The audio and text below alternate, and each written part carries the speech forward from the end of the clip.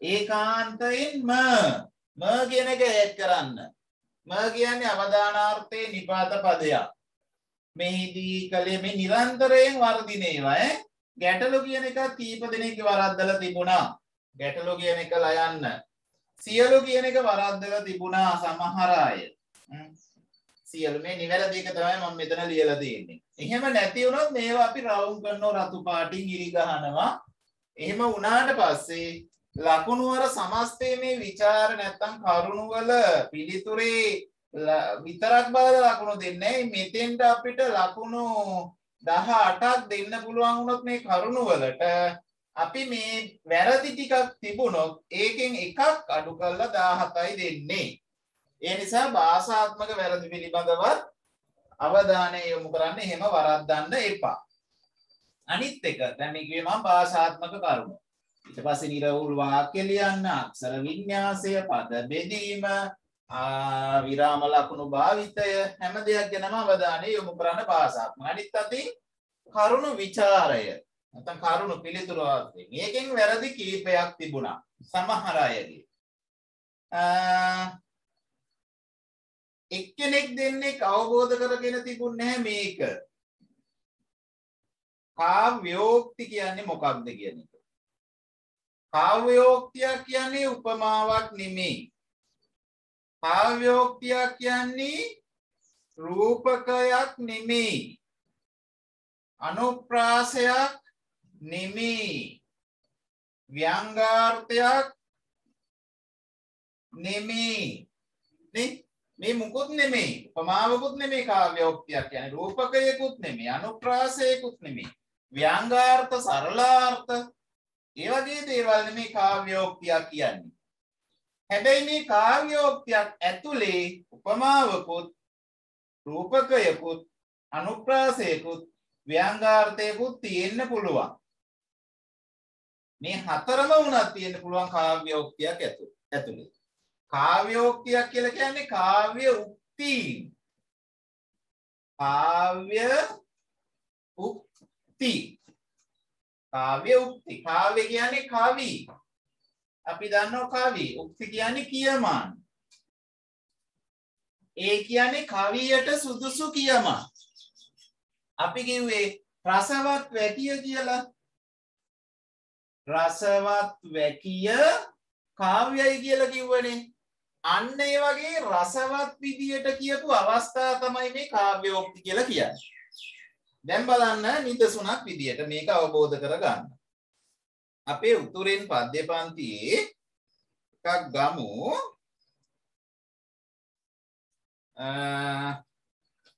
ආ මේ තුන්වෙනි කවියේ අවසාන පේලි දෙක හතරවෙනි කවියේ 80 පිටුවේ තුන්වෙනි කවිය 80 පිටුවේ තුන්වෙනි කවිය ඒකේ තියෙනවා අවසාන පේලි දෙක විමසා බලමි ඔවුනගේ හදවතෙහි හැටි කළුගල් යකඩ නොව උණු වී හැලෙන ඉටි. එතන මෙතන උපමා නෑ.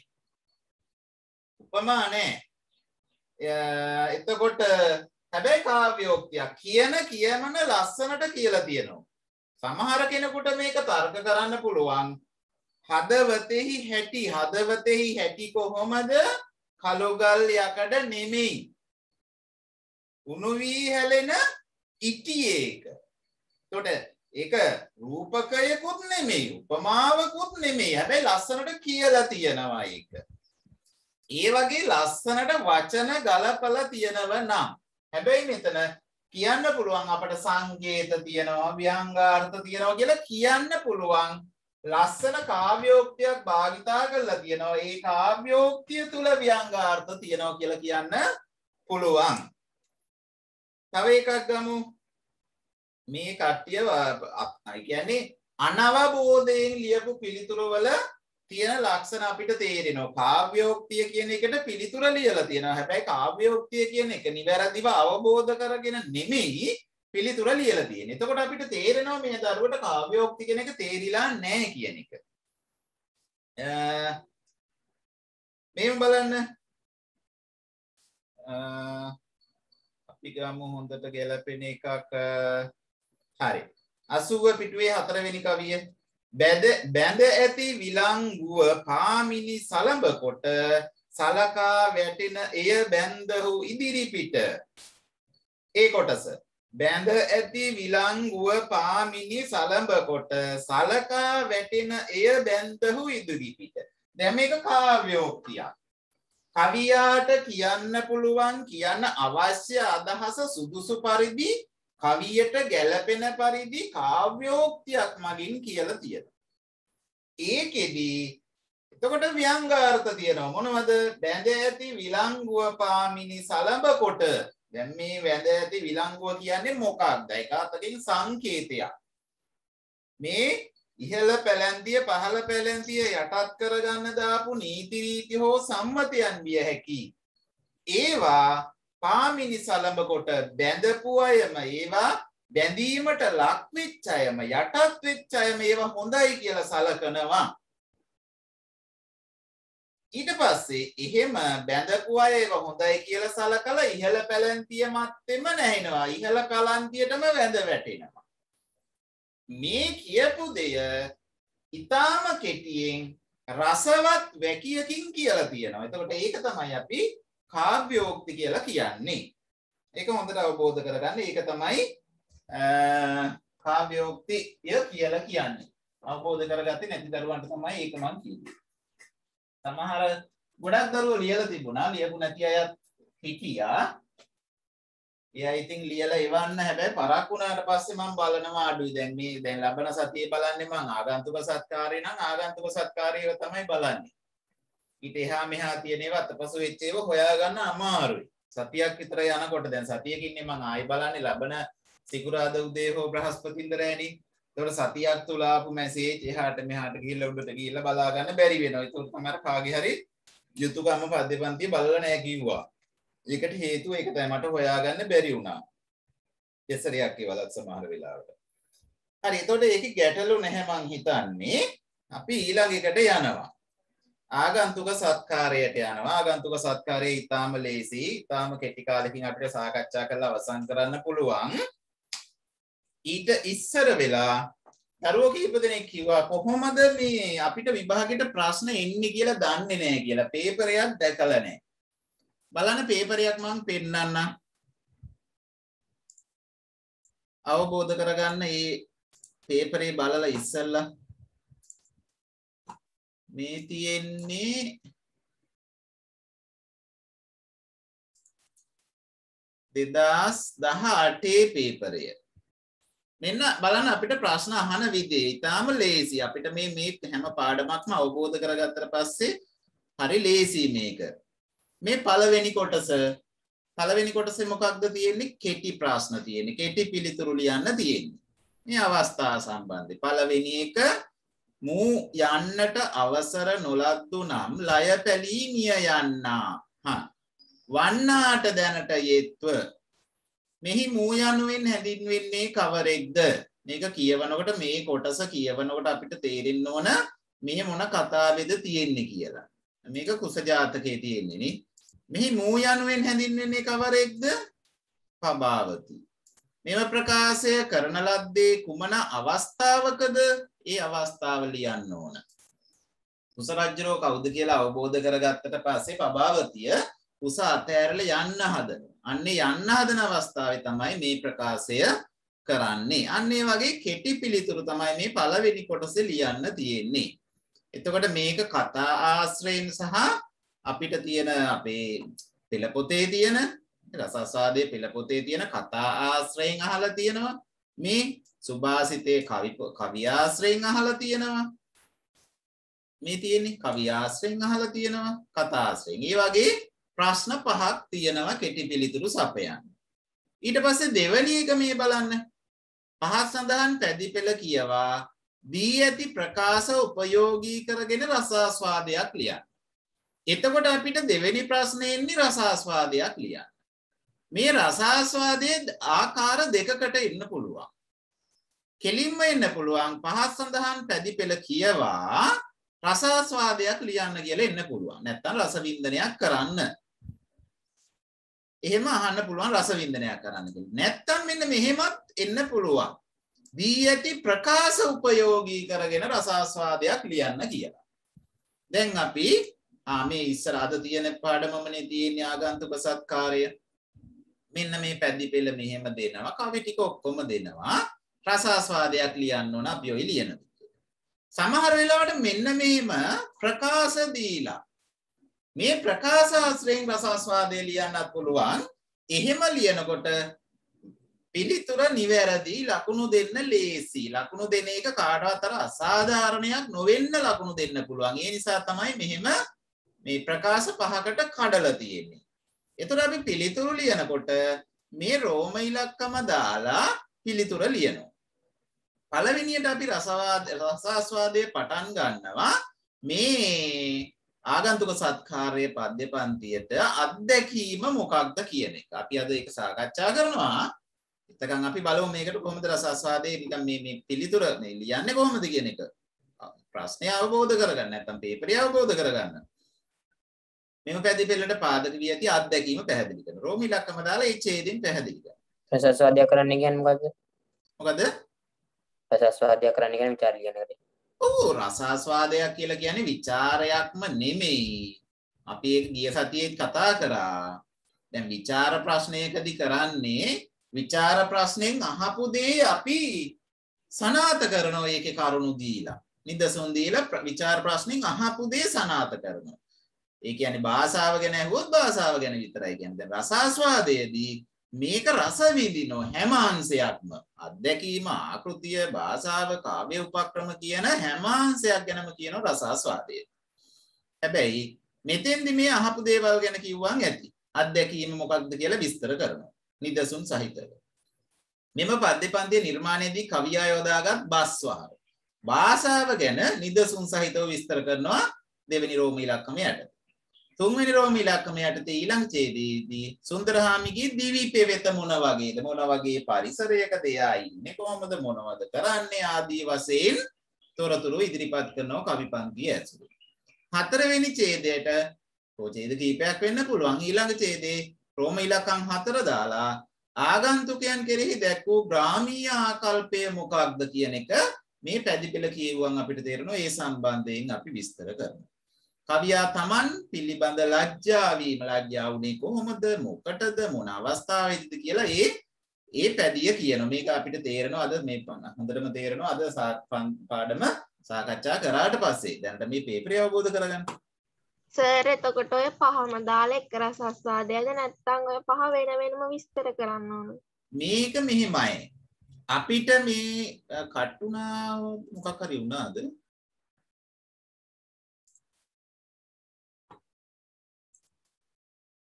හරි ගැටලුවක් වුණා. කමන්නේ එහෙනව නේද? ඇහෙනවා සර්. මට ළමයි ටික නම් පේන්නේ නැතුව ගියා. ටුක්ටක් ඉන්න නේ හරි. වීඩියෝ එක ඕෆ් වුණා මොකක්ද? ආ මෙහෙමයි. දැන් මේකේ රසාස්වාදයක් ලියන්න කියනකොට දැන් මෙතන දීලා තියෙනවා පැදිපෙළ කිය දී ඇති ප්‍රකාශ උපයෝගී කරගෙන එතකොට මේක උපයෝගී කරගන්න අනිවාර්යයි. දැන් අපිට මේකින් තොරව සමස්තයක් විදියට රසාස්වාදයක් කරන්න පුළුවන්. මේ මේ මේ අහන ප්‍රකාශවලට අතිරේකව දාලා සාර්ථකව ලියන්න පුළුවන්. මේ කරුණු වලට නැතු. දැන් මෙතන ආකෘතිය ගැන අහලා නැහැ. කාව්‍ය උපක්‍රම ගැන අහලා නැහැ. ඒවත් දාලා අපිට මීට වැඩිය සාර්ථකව ලියන්න පුළුවන්. හැබැයි එතකොට පිළිතුර කියවන පිළිතුරුපත් පරීක්ෂකයාට ලකුණු දෙන්න අපහසුයි. ලකුණු දෙන්න ලේසි වෙන්න තමයි මේක තියෙන්නේ. එතකොට දැන් මේ පැදිපෙළේ අත්දැකීම හරියට විස්තර වෙලා තියේනම් ලකුණු පහක් දෙනවනේ ලකුණු පහම දෙනවා. සම්පූර්ණ ලකුණු 25යි. ඒ හින්දා මේ ප්‍රකාශ අනුව කඩ කඩ රෝම ඉලක්කම් දම දම එක විස්තර කරන්න. එතකොට පද්‍ය පන්ති නිර්මාණයේදී කවියා යොදාගත් බස්වහර කියලා විස්තර කරනකොට අපි ඊළඟට කියනවා මෙයා බස්වහර අවබෝධ කරගෙන තියෙනවද ඒක විස්තර කරලා තියෙනවද කියලා. හරියට ඒවා විස්තර කරලා තියෙනම් ලකුණු පහ දෙනවා. සමහර විට ලකුණු 4 වෙන්න පුළුවන් 5 වෙන්න පුළුවන්.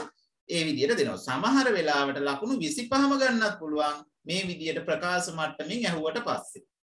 ඒ නිසා මේ ප්‍රකාශම උපයෝගී කරගන්න එහෙම නැති වුණොත් මෙහෙම ප්‍රකාශ උපයෝගී කරගන්න කියලා නැති වුණොත් අපි සාමාන්‍යයෙන් ওই රසාස්වාදයක් ලියන විදියට අත්දැකීම අරමුණ ආකෘතිය භාෂාව සහ කාව්‍ය උපක්‍රම ඒවා ගැන සාකච්ඡා කරා. දෙවෙනි කොටස. එතකොට සර් එකකට මේ ඡේද කීයක් විතර ලියන්න ඕනද? නෑ අපි දැන් මේකේ වෙලාවනේ බලන්නේ අපිට දැන් මේකේ බලන්න අපි ටයිම් මැනේජ්මන්ට් එක හදාගන්න. මේ කියවන්න විනාඩි 10ක් හම්බෙනවා. පැය 3යිනේ තියෙන්නේ. ඒ පැය 3ට අපිට දැන් ඉස්සරහට යන්න එතකොට අපිට මේකට ගන්න පුළුවන් විනාඩි 40ක් 35ක් වගේ කාලයක් තමයි ගන්න පුළුවන්. ඕක මෙතෙන්දි විනාඩි 35ක් කියලා හිතන්න. විනාඩි 35න් අපිට ලියන්න පුළුවන් කාලය. කොටස. එතනින් එහාට යන්න එපා. දැන් සාමාන්‍යයෙන් අත්දැකීම විස්තර කරන්න පුළුවන් එක ඡේදයකින්. ඒ කියන්නේ පිටු භාගයකින්. යොදාගත් බස්වහර ඡේද දෙක එක ඡේදයකින් ඒ කියන්නේ පිටු තුන් කාලකින් විතර පුළුවන්. දිවි පෙවෙත පිටු භාගිකින් පුළුවන්. පිටු භාගික ඡේදයකින්. නේ ආකල්පත් පිටු භාගිකින් පුළුවන්. මේ කවියා තමන් පිළිබඳ ලැජ්ජා වීම නිදසුන් එකමනේ. මේ තියෙන කම්බුල රතු පැහැගැන්විය කියන මෙන්න මේ අවසාන පද්දේ මෙන්න මේක තමයි විස්තර කරන්න කියලා කියන්නේ. එතකොට ඒකත් ඒ වගේ එහෙම සාමාන්‍යයෙන් අපිට අපි රචනාවක් ලියනකොට වචන 150ක් දෙසි මේ විචාර ප්‍රශ්නයකදී ලියන්නේ වචන 150ක් විතරනේ. මේ වගේ එකදී වචන 200ක් තිබුණාම හොඳටම ඇති. සමහරලාට කියලා තිබුණොත් මෙතන වචන 150ක් 200ක් පමණ උපයෝගී කරගෙන කියලා අතර උපයෝගී කරගෙන කිව්වොත් ඒ ඒ ප්‍රමාණයට ඉවර කරන්න. අපි මේ වගේ ප්‍රශ්න කීපයක් පේපර් කීපයක් කරනකොට විසඳුම මේ මේ ගැටලු විසඳෙනවා මොකද අපිට ටයිම් එහෙම බෙදාගෙන අපි කරනවනේ මෙන්න දෙවැනි කොටස පහත් සඳහන් ගද්‍ය පද්‍ය කොටස් දෙකින් එක කොටසකට පමණක් පිළිතුරු සපයන්න. මේක ලේසි අපිට එන්නේ මේක කතා ආශ්‍රයෙන්. කතා කීපයක් තියෙනවනේ. කුසජාතකයයි නන්ද තෙරුන්ගේ කතාවයි තමයි ප්‍රධාන වශයෙන් අහන්නේ. ඒ කතා දෙකෙන් කොටසක් දෙනවා ඡේදයක්. ඒ ඡේදය ඇතුළත් කරුණු ආශ්‍රයෙන් මෙන්න මෙහෙම ප්‍රශ්න අහනවා. බුදුරජාණන් වහන්සේ හා නන්ද තෙරුන් වහන්සේ අතර තිබූ ඥාති සම්බන්ධය කුමක්ද කියලා මේ ඡේදෙ තියෙනවා. මේ නන්ද තෙරුන් කතාවෙන් අහලා තියෙනවා. ඒවට කෙටි පිළිතුරු සපයන්න තියෙනවා. ඒක බැරි නම් මේ ඡේදය බැරි නම් මෙන්න මේ තියෙන තව එකක් නැතහො. දෙකෙන් එකයි ඕන. මේ පද්‍ය පන්තිය ඇසුරේ පද්‍ය පන්තිය ඇසුරෙන් මේ පද්‍ය පන්තිය කියලා ඒකෙන් මෙම පද්‍ය පන්ති නිර්මාණයේදී කවියාගේ අපේක්ෂාව වූයේ කුමක්ද? ඒක කෙටි පිළිතුරු. කෙටි පිළිතුරු සාමාන්‍ය පේලි 10න් 15න් වගේ ලියන්න පුළුවන් ඒවා තමයි මේ තියෙන්නේ. පැහැදිලි කරන්න නේ එක ඡේදය පිටු භාගයකින් වගේ. උතට ඉසුරු ලබා දෙන මූලාශ්‍රය කවරේද? මෙන්න මේක තමයි ටිකක් විස්තර කරන්න ඕන පිටුවකින් විතර. තම අභිභාතාර්ථ ඉටු කර ගැනීම සඳහා කවියා විසින් භාවිතා කරන අවස්ථා හා සිද්ධි. අගයන කියන එක ඒක පොඩ්ඩක් වැඩිපුර ලියන්න. එතකොට මේකට වැඩිය ලේසි මේ ඡේදය. මට ලේසි එක ඡේදය ආශ්‍රයෙන් හරි ලේසි කෙටි ප්‍රශ්න තමයි අහලා තියෙන්නේ. මෙන්න තුන්වෙනි කොටස. බලන්න. මෙම කොටසෙන් ප්‍රශ්න දෙකකට පිළිතුරු ලියන්න ඕනය. පිළිතුර 150යි වචන. මේ කියන්නේ අපේ විචාර ප්‍රශ්න අර ඉස්සෙල්ලා දරුවෝ ඇහුවේ මොනවද මේ රසාස්වාදයයි විචාරය කියන්නේ දෙකක්ද කියලා. අතන තිබෙන්නේ රසාස්වාදයක් නේ. දැන් බලන්න විචාර ප්‍රශ්නයකදී වෙන්නේ මොකක්ද කියලා. කුසකුමරු තමන් හමුවේ ඇති අභියෝග ජය ගැනීම සඳහා කටයුතු කළ ආකාරය. එයා කුසකුමාරයා කොහොමද තමන්ගේ අභියෝගනේ මේ පබාවතිගේ හිත දිනා ගන්න මොනවද කරේ? ඒ ගැන විතරයි මෙතෙන්දි සාකච්ඡා කරන්නේ. වෙසක් පහන කතුවරයා ළමා මනස නිරූපණය කිරීමලා දැක්වූ කුසලතාව. ඊපස්සේ මෙතන තියෙනවා සුභාසිතය මෙතන තියෙනවා තුම්මන් අධිය. මේ මේ 18 එන පද්‍ය ගැන අහලා නැහැ. අපි බලමු මේ තියෙන්නේ 19 මේ බලන්න 19 මේ පද්‍ය අපි යන නිසා මේ දවස්වල මේ මේ උතුරෙන් පද්‍ය පන්ති තමයි 19 අහලා තියෙන්නේ මේ ඉතින් දකුණේ මෙන්ම උතුරේ තිරුණාගේ යුදේ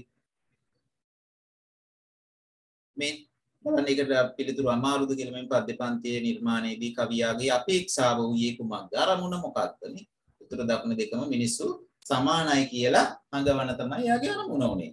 තම අත්දැකීම් ප්‍රබලව ඉදිරිපත් කිරීමේදී පරිසර වර්ණනා යොදාගත් ආකාරය. අර පිනිබිඳු, තල් ගස්, පොල් ගස්, නිපාලම ගොඩක් ඒවා තිබ්බනේ පරිසරයේ සිද්ධි.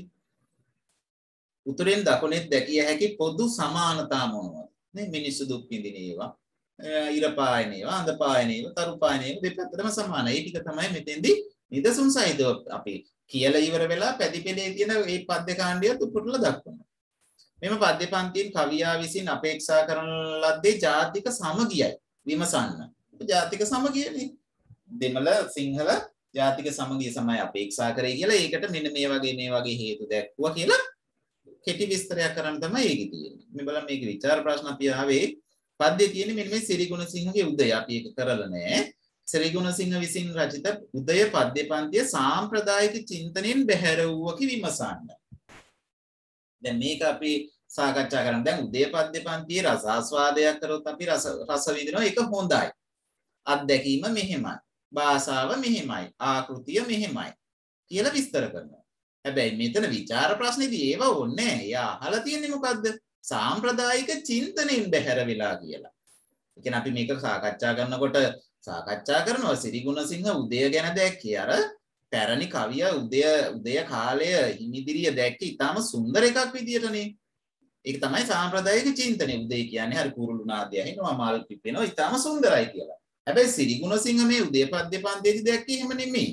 ඉර දැක්කෝ මේ කොහොමද පෙර දිග ගොර හැඳි රකුසෝ මගේ ධානය ඇයි කඩන්නේ? මේ නිදාගත්ත පෙරවගත්ත කළු රෙදිපට මොකටද මේ තීරු වලට ඉරා දමන්නේ? ඒක උදේ කාලයත් එක්ක එයා එයා ඒ කතකය උදේ කාලයේ හිරින් මේ මේ සාම්ප්‍රදායික විදියට නෙමෙයි හරි හරි තරහෙන් කේන්තියෙන් උදේ කාලය ගැන බලන්නේ. අන්න ඒක තමයි සාම්ප්‍රදායික චින්තනෙන් බැහැර වුණා කියලා කියන්නේ. අපි ඒතකොට ඒක ගැන විතරයි කතා කරන්නේ විචාර ප්‍රශ්නේදී. ඔන්න ඔය විදිහට තමයි පිළිතුරු ලියන්න අපිට ප්‍රශ්න මේ පේපරේ එන්නේ. ඒක ගැන පොඩි අවබෝධයක් ලබා ගන්න තමයි මම පෙන්නුවේ. අපි ලොකු අවබෝධයක් ලබා ගන්න. අපි මේ ටික කරලා ඉවර වෙලානේ 10 වසරේ අවසානයේදී සහ 11 වසරේ මාස දෙකක් විතර තියලා අපි පාඩම් ටික ඉවර කරලා දිගටම ප්‍රශ්න ලියමු පේපර් ලියමු. ප්‍රශ්න නෙමෙයි. දැන් ප්‍රශ්න නෙලිය ලිය යන්නේ මේ. අපි පේපර් වලට ලියලා ඒක හුරු වෙමු ඒක එච්චර අමාරුවක් කියලා හිතන්න එපා. සර් තුම්මන් හන්දියේ ඉතුරු ටික ලියන්නේ නැද්ද? විචාර. තුම්මන් හන්දිය අපි ලිව්වේ නැති ඒවා තියෙනවද? තුම්මන් හන්දියේ ලිව්වේ නෑනේ සර්. අර එක්වකට අර පන්ති නතර කරානේ. ආ ආ ආ ඔව් නේ එතකොට එහෙනම් අපි ඒක මෙහෙම ලියමු. දැන් තුම්මන් හන්දිය කියවන්න කියලා මං කිව්වා හොඳට නවකතාව හොඳට කියවන්න දෙසර තුන්සරයක් කියවන්න මොකද අවස්ථා සම්බන්ධය අහනවා ප්‍රකාශය කාගේද කියලා අහනවා ඒ හින්දා අමාරු වෙන ඉඳ කියවන්න පොත ගන්න පුළුවන් නම් හොඳයි පොත අරගෙන කියවන්න පොත ගන්න බැරි අයට මං කිව්වා මං PDF එකේ වන්නම් කියලා මං එහෙම කියපු අයටත් යවුවා soft copy නැත්නම් PDF එක. ඒක බලලා කියවන්න. කියවලා ඉවර වෙලා අපි මේ පාඩම් යන අතරතුරේදී එක සැරේ ලියන්නේ නැතුව එක එක ලියමු.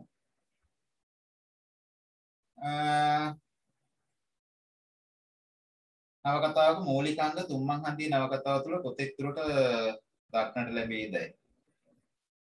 නෑ අපි මෙහෙම කරමු. මේ පද්‍ය දෙක ඉවර කරලා අපි තුන්මන් හන්දිය කරමු නැවතත්. ඔක අමතක වෙලත් ඇතිනේ විචාර ප්‍රශ්න ලියන්න කිව්වට දැන් මම එකක් ලියන්න කිව්වට අමාරුයි ලියන්න බැරි වෙයි සමහර අයට. ඒ හින්දා අපි මේකේ දැන් ඉවර වෙනවා අලුත ගෙනා මනමාලිගෙන් ඉවරයිනේ 10 වසර ටික පද්‍ය ටික ඒ කියන්නේ අපි කතා කරගෙන නිසන්දස් කාව්‍ය සම්ප්‍රදායේ පළවෙනි පළ පරපුරෙන් ඉවර වෙනවා 10 වසරට තියෙන ටික. ජී.බී. සේනානායකගේ මේ අලුත ගෙනා මනමාලි. ඒක සාකච්ඡා කරලා ඉවර වෙලා අපි ආයේ තුම්මන් හන්දියට යනවා. තුම්මන් හන්දියට ගිහිල්ලා ඉවර වෙලා නේ එතන ඉඳන් නවකතාව කියවලා හොඳට ඊට පස්සේ කතාව ආයෙ සැරයක් පැහැදිලි කරලා දීලා කතාව මතක වෙලත් ඇති විචාර ප්‍රශ්න ටික මම සාකච්ඡා කරනවා. ඊට පස්සේ අපි කාලයක් දීලා ලියවමු. ඒක හොඳයි මතක් කරපු එක. ඒ විදිහට මතක් කරන්න මේ පද්‍ය පන්ති ටික ඉවරුණාට පස්සේ. නැත්තම් දැන් මේ අතරතුරේදී ඔක ගහ ලියන්න ගත්තොත් එහෙම පොඩ්ඩක් අසාර්ථක වෙන්න පුළුවන්. අපිට වැඩි දවස් යන්නේ මේක සති කිහිපයකින් අවසන් කරන්න පුළුවන්. හරි. ආගන්තුක සත්කාරය සාකච්ඡා කරමු. මේකත් ඊටාම ලේසි. මේ පද්‍ය පන්ති ඊටාම සරල පද්‍ය පන්තියක්. හින්ද ලේසි. ගොඩක් වෙලාව යන්නේ විචාර ප්‍රශ්න ලියන්නත් හරි ලේසි. එක එකම කෝණයකින් විතරයි විචාර ප්‍රශ්න අහන්න පුළුවන්. මේකේ කාව්‍ය උපක්‍රම මොනවද කියලා එහෙම අහන්න බෑ. එහෙම ඒව නෑ මේකේ. මම ඒක ගැන කියන්නම් ඉස්සරහට. අපි ඔක්කොටම ඉස්සෙල්ලා විමල රත්න කුමාරගම කියන්නේ කවුද? කියන ඒ කවිය කවුද කියන එක අවබෝධ කරගන්න ඕන. මම මුලින්ම දැන් කිව්වා මේ අපි සාකච්ඡා කරන්නේ නූතන යුගයේ නැත්නම් කොළඹ යුගයේ කවි. කොළඹ යුගයේ කවියෝ අපි පරපුරවල් කීපයකට බෙදලා ඉගෙන ගත්තා. කොළඹ යුගයේ මුල් පරපුරේ කවියන්ගෙන් අපි කතා කරේ මහින්ද හාමුදුරුවෝ ගැන විතරයි. ඊට පස්සේ මේ කතා කරන්නේ කොළඹ යුගයේ දෙවනි පරපුරේ. අපි ඉස්සෙල්ලා කතා කරා සාගල පරංසූරිය ගැන. දැන් අපි කතා කරනවා මෙන්න එහෙනම් කොළඹ යුගයේ තරුණ කවි පරපුර නියෝජනය කර තවත් සාර්ථක කවියෙක් තමයි විමල රත්න කුමාරගම කවියා. අන්න ඔහු කවුද කියලා අවබෝධ කරගමු. ඉස්සෙල්ලා පාඩම කියවමු. කවුද ඉස්සරහා ඉන්නේ? සෙනුරුගේ නෑනේ රන්දිමායි. රන්දිමා නේද ගිය සතියේ පාඩම කිව්වේ? ඔව් සර් වෙන කවුද බලමින් ඉන්නේ? සදීසා ඉස්සරහා ඉන්න. KP සදීසා සදීස පාඩම කියවන්න ලස්සන්ට 81 පිටුව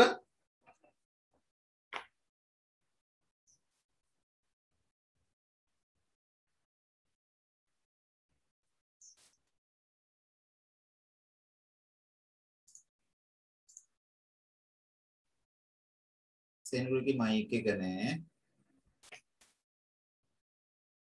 සදීස නිස්සබ්ද හින්දා සසිකා සස්සි කවුද කවුසාන්ති නෙමෙයි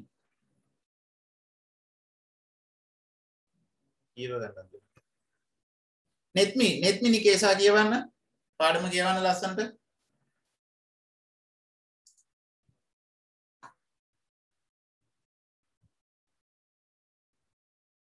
මං කරන්න නූතන යුගයට අයත් දීප්තිමත් කවිය වූ විමලරත්න මාරගම ලිපිකවෙකු ලෙස වෘත්තීය ජීවය ආරම්භ කර පස් ප්‍රාදේශ ආදායම් පාල ධූරයට පත්විය. මොහු බියන්න පොළොන්න වන්නි හතත්තුව වැනි දියුණු හා දුෂ්කර ප්‍රදේශවල සේවය කිරීමෙන් ලත් නිර්වාජ්‍ය ජීවන අත්දැකීම දනුකම්පාවෙන් යුව ප්‍රතිනිර්මාණය කිරීමට උත්සාහගත් කවියකි. ගතානුගතික ආකල්පවල ඈත සංයමශීලීව හා මධ්‍යස්ථ මුහුවරකින් අත්දැකි ප්‍රතිනිර්මාණය කිරීමට පෙළඹු කවියෙකු ලෙස ඔහු එයුමට පාත්‍ර විය. සංවේග වේදනා, නිල්ගිනය, ඔරුව, කපුමලි, සතල්ලු යන පද්‍ය කෘති කුමරගමගේ කාව්‍ය සංග්‍රහ අතර වේ. කලක් ගනුවර තන කවි සමාජයේ සංස්කාරවරයෙක් ලෙස ඔහු කටයුතු කර තිබේ. අනවශ්‍යතාවාත්මක බවින් දුණු ඉතා සංවේදී සාමශීලී බවද මුහුකුරා ගිය කවි ශක්තියද උචිතාංශිත භාවයෙන් පරිපූර්ණ භාෂා අලංකාර භාතය මොහුගේ කවි දක්නට ලැබෙන ලෙස සැලකිය හැකිය. මානව ජීවිතයෙහි හා ස්වභාවික පරිසරයේ අනෝන්‍ය බැඳීම නිර්වජ්‍ය ලෙස සියුම් දීක්ෂණාක්ෂයකි යුතුව ප්‍රතිමානය කිරීම කරනට සමකාලීන සෙසු කවීන් තුරින් මොහු විශේෂිත හැඳින් රාජසේවී පිළිගුල්ඩකුස මුහින් ගොඩගන්නාද සමාජිකාව ඒ සහ මොහුට මහෝකාරිය. හරි. ඔය මේ මේ අපිට තියෙන මේ සිග්නල් ප්‍රශ්න හින්දා කැඩි කැඩි ඇහුණ සමහර තැන්වල වලදී නමුත් ඒත් එක්කම අපිට තේරුම් ගන්න පුළුවන් අපි පාඩම දිහා බලාගෙනනේ හිටියේ. හරි විමල රත්න කුමාරගම යුගය. මොකද්ද නූතන යුගය කියන්නේ මේ කොළඹ යුගය. අපිට අහන්න පුළුවන් කොළඹ නූතන ওই දෙකෙන් එකක් එන්න පුළුවන්. අපි දාමු කොළඹ නැත්තම් නූතන යුගයේ මෙයා දෙවැනි පරපුර. දෙවන නැත්තම් තරුණ පරපුර නියෝජනය කරපු කවියෙක්. මෙයාගේ මෙන්න මෙහෙම විශේෂත්වයක් තියෙනවා. දැන් මේ කොළඹ යුගයේ දෙවෙනි පරපුරේ කවියෝ ගොඩාක් බටහිර කවියනේ අනුගමනය කරේ. බටහිර රොමැන්ටික් වාදය, යථාර්ථවාදය නේ. ඒ වගේ සංකල්ප තමයි රොමැන්ටික් වාදය වගේ තමයි ගොඩාක් අනුගමනය කරේ. හැබැයි මේ විමල රත්න කුමාරගම කවිය එහෙම නෙමෙයි. විමල රත්න කුමාරගම ගමයන්ගේ අත්දැකීම් නිර්ව්‍යාජයි. නිර්ව්‍යාජ අත්දැකීම්. අපේ ජන කවිවලදී මේක සාකච්ඡා කරා මොකද්ද මේ නිර්ව්‍යාජ කියලා කියන්නේ තමා විසින්ම අත්දැකීම් ලබා ගැනීම කියන එක. දැන් ගොඩාක් මේ තරුණ කවියෝ මොකද්ද කරේ පොතපත කියවලා ඊට පස්සේ තාගෝර්ගේ හරි කාගේ හරි බටහිර කවියෙක්ගේ හරි කවි කියවලා ඒ කවි ආශ්‍රයෙන් ඒ වගේ තියෙන අත්දැකීම් කවිවලට ගත්තා. සබාදහමයි කවියයි අතර නැත්නම් මිනිස්සයයි අතර තියෙන සම්බන්ධය ප්‍රේමයක් විදියට දැක්කා. ප්‍රේමය ඔය වගේ ගොඩක් දේවල් තමයි. සමහර දේ අපි අපේ බිම් මට්ටමේ තියෙන අත්දැකීම් නෙමෙයි පොඩ ඉහළ අත්දැකීම් තමයි කවියෝ අත්දැකීම් විදියට ගත්තේ. හැබැයි මේ විමල රත්න කුමාරගම කවියා මේ නිර්ව්‍යාජ නිකන් බිම් මට්ටමේ. ඒ වචනේ අපි නිකන් භාවිතා කරමු. බිම් මට්ටමේ පහළ මට්ටමේ අත්දැකීම් තමයි කවිය සඳහා යොදාගත්තේ.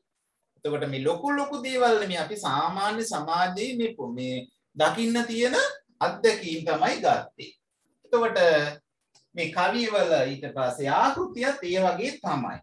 මෙයාගේ ආකෘතියක් දේශීය ආකෘතිය තමයි සිව්පද ආකෘතිය වගේ ඒවා තමයි භාවිතා කරේ. විශේෂ කරුණ තමයි මේ නිර්ව්‍යාජ කියන එක. මෙයා දැන් ගොඩාක් දුෂ්කර ප්‍රදේශවල සේවය කළා තියෙනවා. මේකේ තියෙනවනේ යා ලිපිකරුවෙක් විදියට හිටියා ඊට පස්සේ ආදායම් පාලක විදියට හිටියා. මෙයා මේ කොහෙද වැඩ කරේ බින්තැන්න. බින්තැන්න කියන්නේ මේ මයංගනේ ප්‍රදේශයනේ. ඊට පස්සේ කොලොන්න. වන්නිහත්පත්තුව.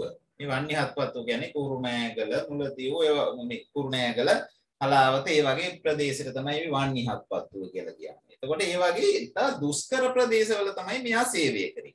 අන්න එහෙම සේවය කරද්දී මේ ග්‍රාමීය ඉතා දරිද්‍ර මේ දුප්පත් සමාජය ඇසුරු කරලා ලබපු කටුක අත්දැකීම් තමයි මේ ලස්සනට මෙයා කවිය සඳහා යොදාගත්තේ. ඒක හරියට සංයමයෙන් නේ භාෂාව සරලව ඊට අමතරව නිකන් ආටෝපවත් සරල මේ උපමා රූපක ගැඹුරු භාෂාව ඒව දැම්මේ නෑ සරලව කියාගෙන ගියා කවිය. ඒක අපිට මේ ආගන්තුක සත්කාරයේ කියවද්දි තේරෙනවා. හරි. ওই කරුණු ටික තමයි විශේෂයෙන් වැදගත් වෙන්නේ. මෙයාගේ තොරතුරු ටික මතක තියාගන්න මේ පොත් එහෙම සංවේග වේදනා, නිවසීනය, ඔරුව, අපුමලි, සුරතල්ලු මොකදරු රෙකෝඩ් දානවද? එහුන්නේ රෙකෝඩ් දානවද? රෙකෝඩින් එක නම් දාලා තියෙන්නේ මං. මං YouTube ආ හරි දාන්න. මේ එඩිට් කරන්නේ මෙහෙම දාන්නම් ඉතින් අපේ අයට විතරක් බලන්න. හරි අපි බලමු කවිය අවබෝධ කරගන්න බලමු. වැඩි දේවල් නෑ බලමු කියවන්න මොකද්ද කියලා. දැන් ඔන්න අපි රසාස්වාදයක් විදිහට යමුකෝ මේක. විචාර ප්‍රශ්නයක් විදිහට නෙමෙයි. සාමාන්‍යයෙන් අපි රසාස්වාදයේදී සියලුම දේ සාකච්ඡා කරනවනේ. රසාස්වාදයේදී. ඒතර විචාර ප්‍රශ්නයක් කියන්න ලේසි. අපි මොනවද ඉස්සෙල්ලම කවියා අවබෝධ කරගන්නවා. කවිය කවුද කියලා. ඒක තමයි දැන් අපි මේ අවබෝධ කරගත්තේ. ඊට පස්සේ අත්දැකීම මොකක්ද කියලා අපි සාකච්ඡා කරන්න ඕනේ. මෙයා මොනවද අත්දැකලා තියෙන්නේ? වස්තු විශේෂ වෙලා තියෙන්නේ මොකක්ද කියලා. ඒත් එක්කම අපිට කතා කරන්න පුළුවන් තේමාව නැත්තම් අරමුණ ඔය වගේ දේවල් සාකච්ඡා කරන්න පුළුවන් මෙතෙන්දි. එකට. ඊට පස්සේ මෙයා මේක කියන්න යොදාගත් භාෂාව ගැන සාකච්ඡා කරමු.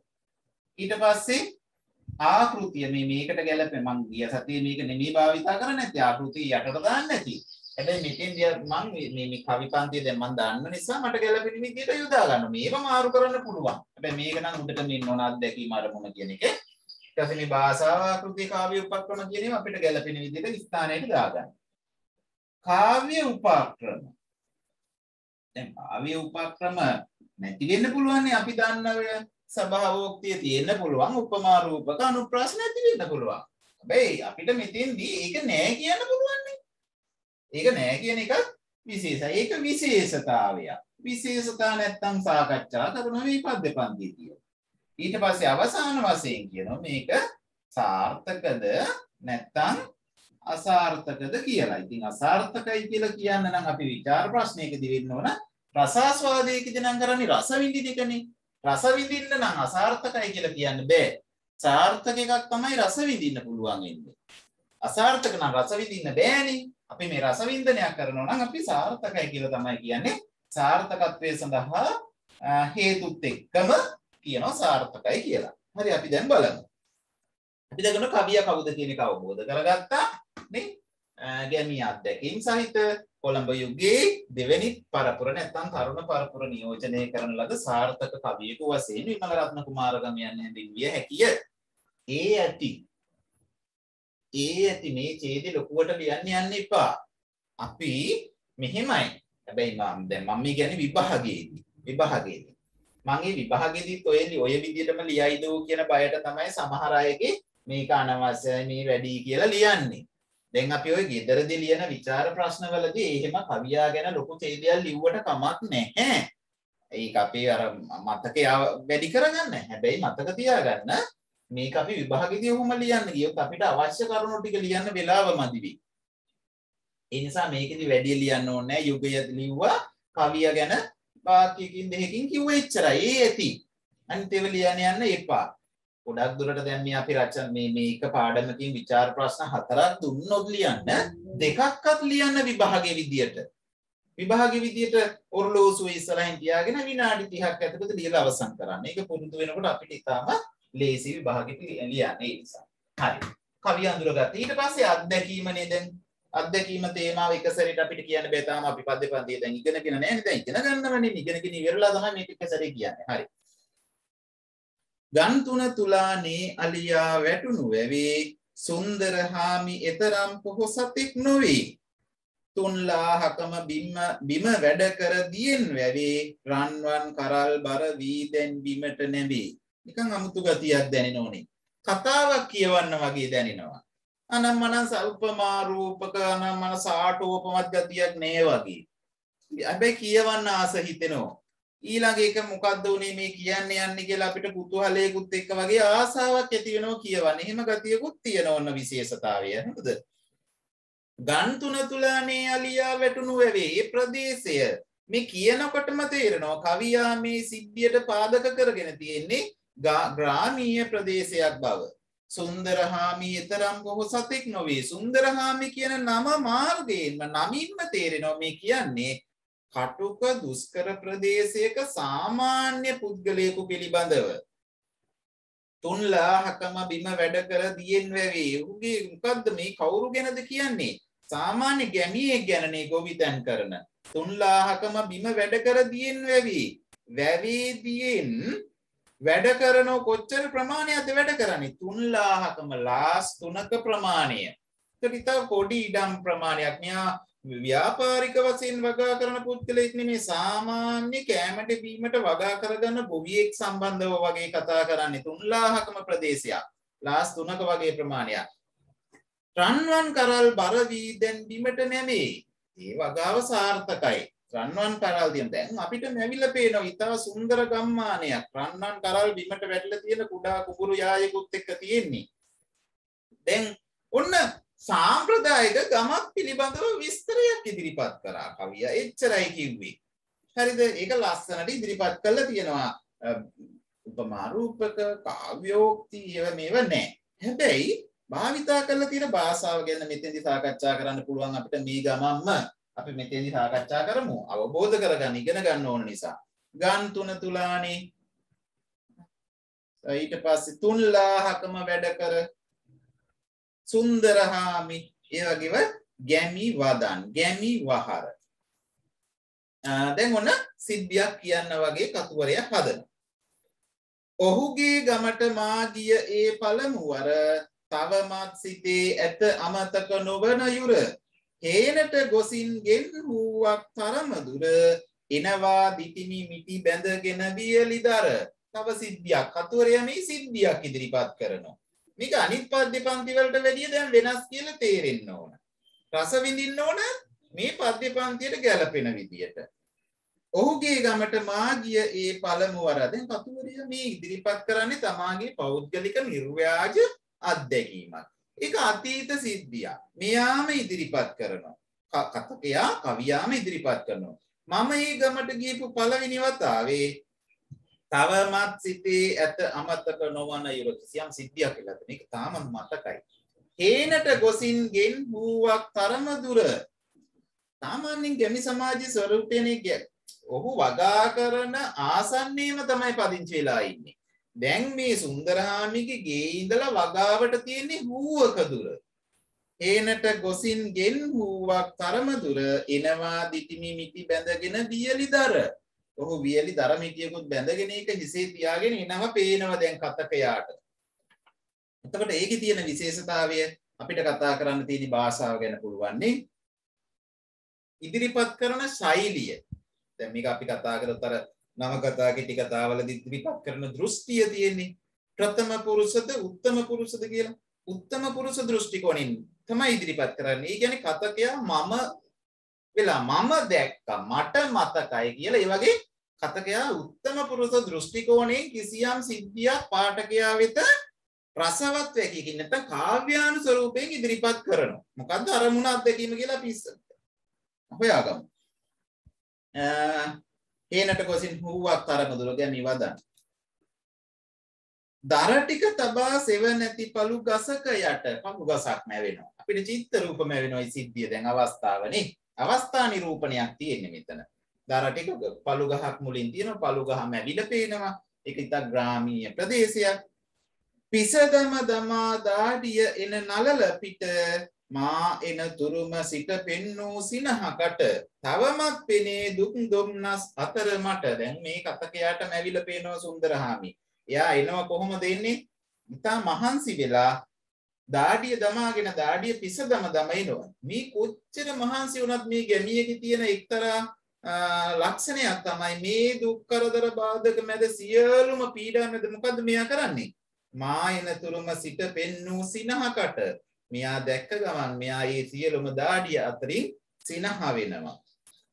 තවමත් පෙනේ දුක් දුම්නස් අතර මට ඒ දුක් දුම්නස් දාඩිය අතරින් hina වෙච්ච ස්වરૂපය. ඒ අවංක ගැමියාගේ අවංක සිනහව කතුවරයට මැවිලා පේනවලු. ඉතින් ඒතොට ඒ අවස්ථාවක් දැන් ඔන්න අපිට මැවිලා පේනවා. තාම දැන් අපි කවියේ අවසානයට එනකන් කවියා කියන්නේ යන්නේ මොකද්ද? ඔහුගේ අත්දැකීම තමයි මේ විස්තර කරන්නේ අරමුණ මොකක්ද කියන එක තාම පැහැදිලි නෑ.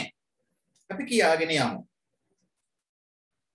තවමත් පෙනේ දුක් දුම්නස් අතර මට පෙර දෙක නොමැති මුත් සුන්දර හාමි විසින් මගේ තොරතුරු ඇසූ හැටි හිතවතෙකු ලෙසින් ගෙඩියක් කඩාගෙන ගෙමිදුල තැඹිලි ගසින් පිළිගැන්වීය මට සොම්නස පිරුණු ඇසින් උන තවත් සිද්ධියක් අතුරේ නිරූපණය කරනවා කවියෙන්. මොකද්ද? පෙර දැක නොමැති මුත් සුන්දර හාමි. සුන්දර හාමි මං කලින් දැකලා නෑ.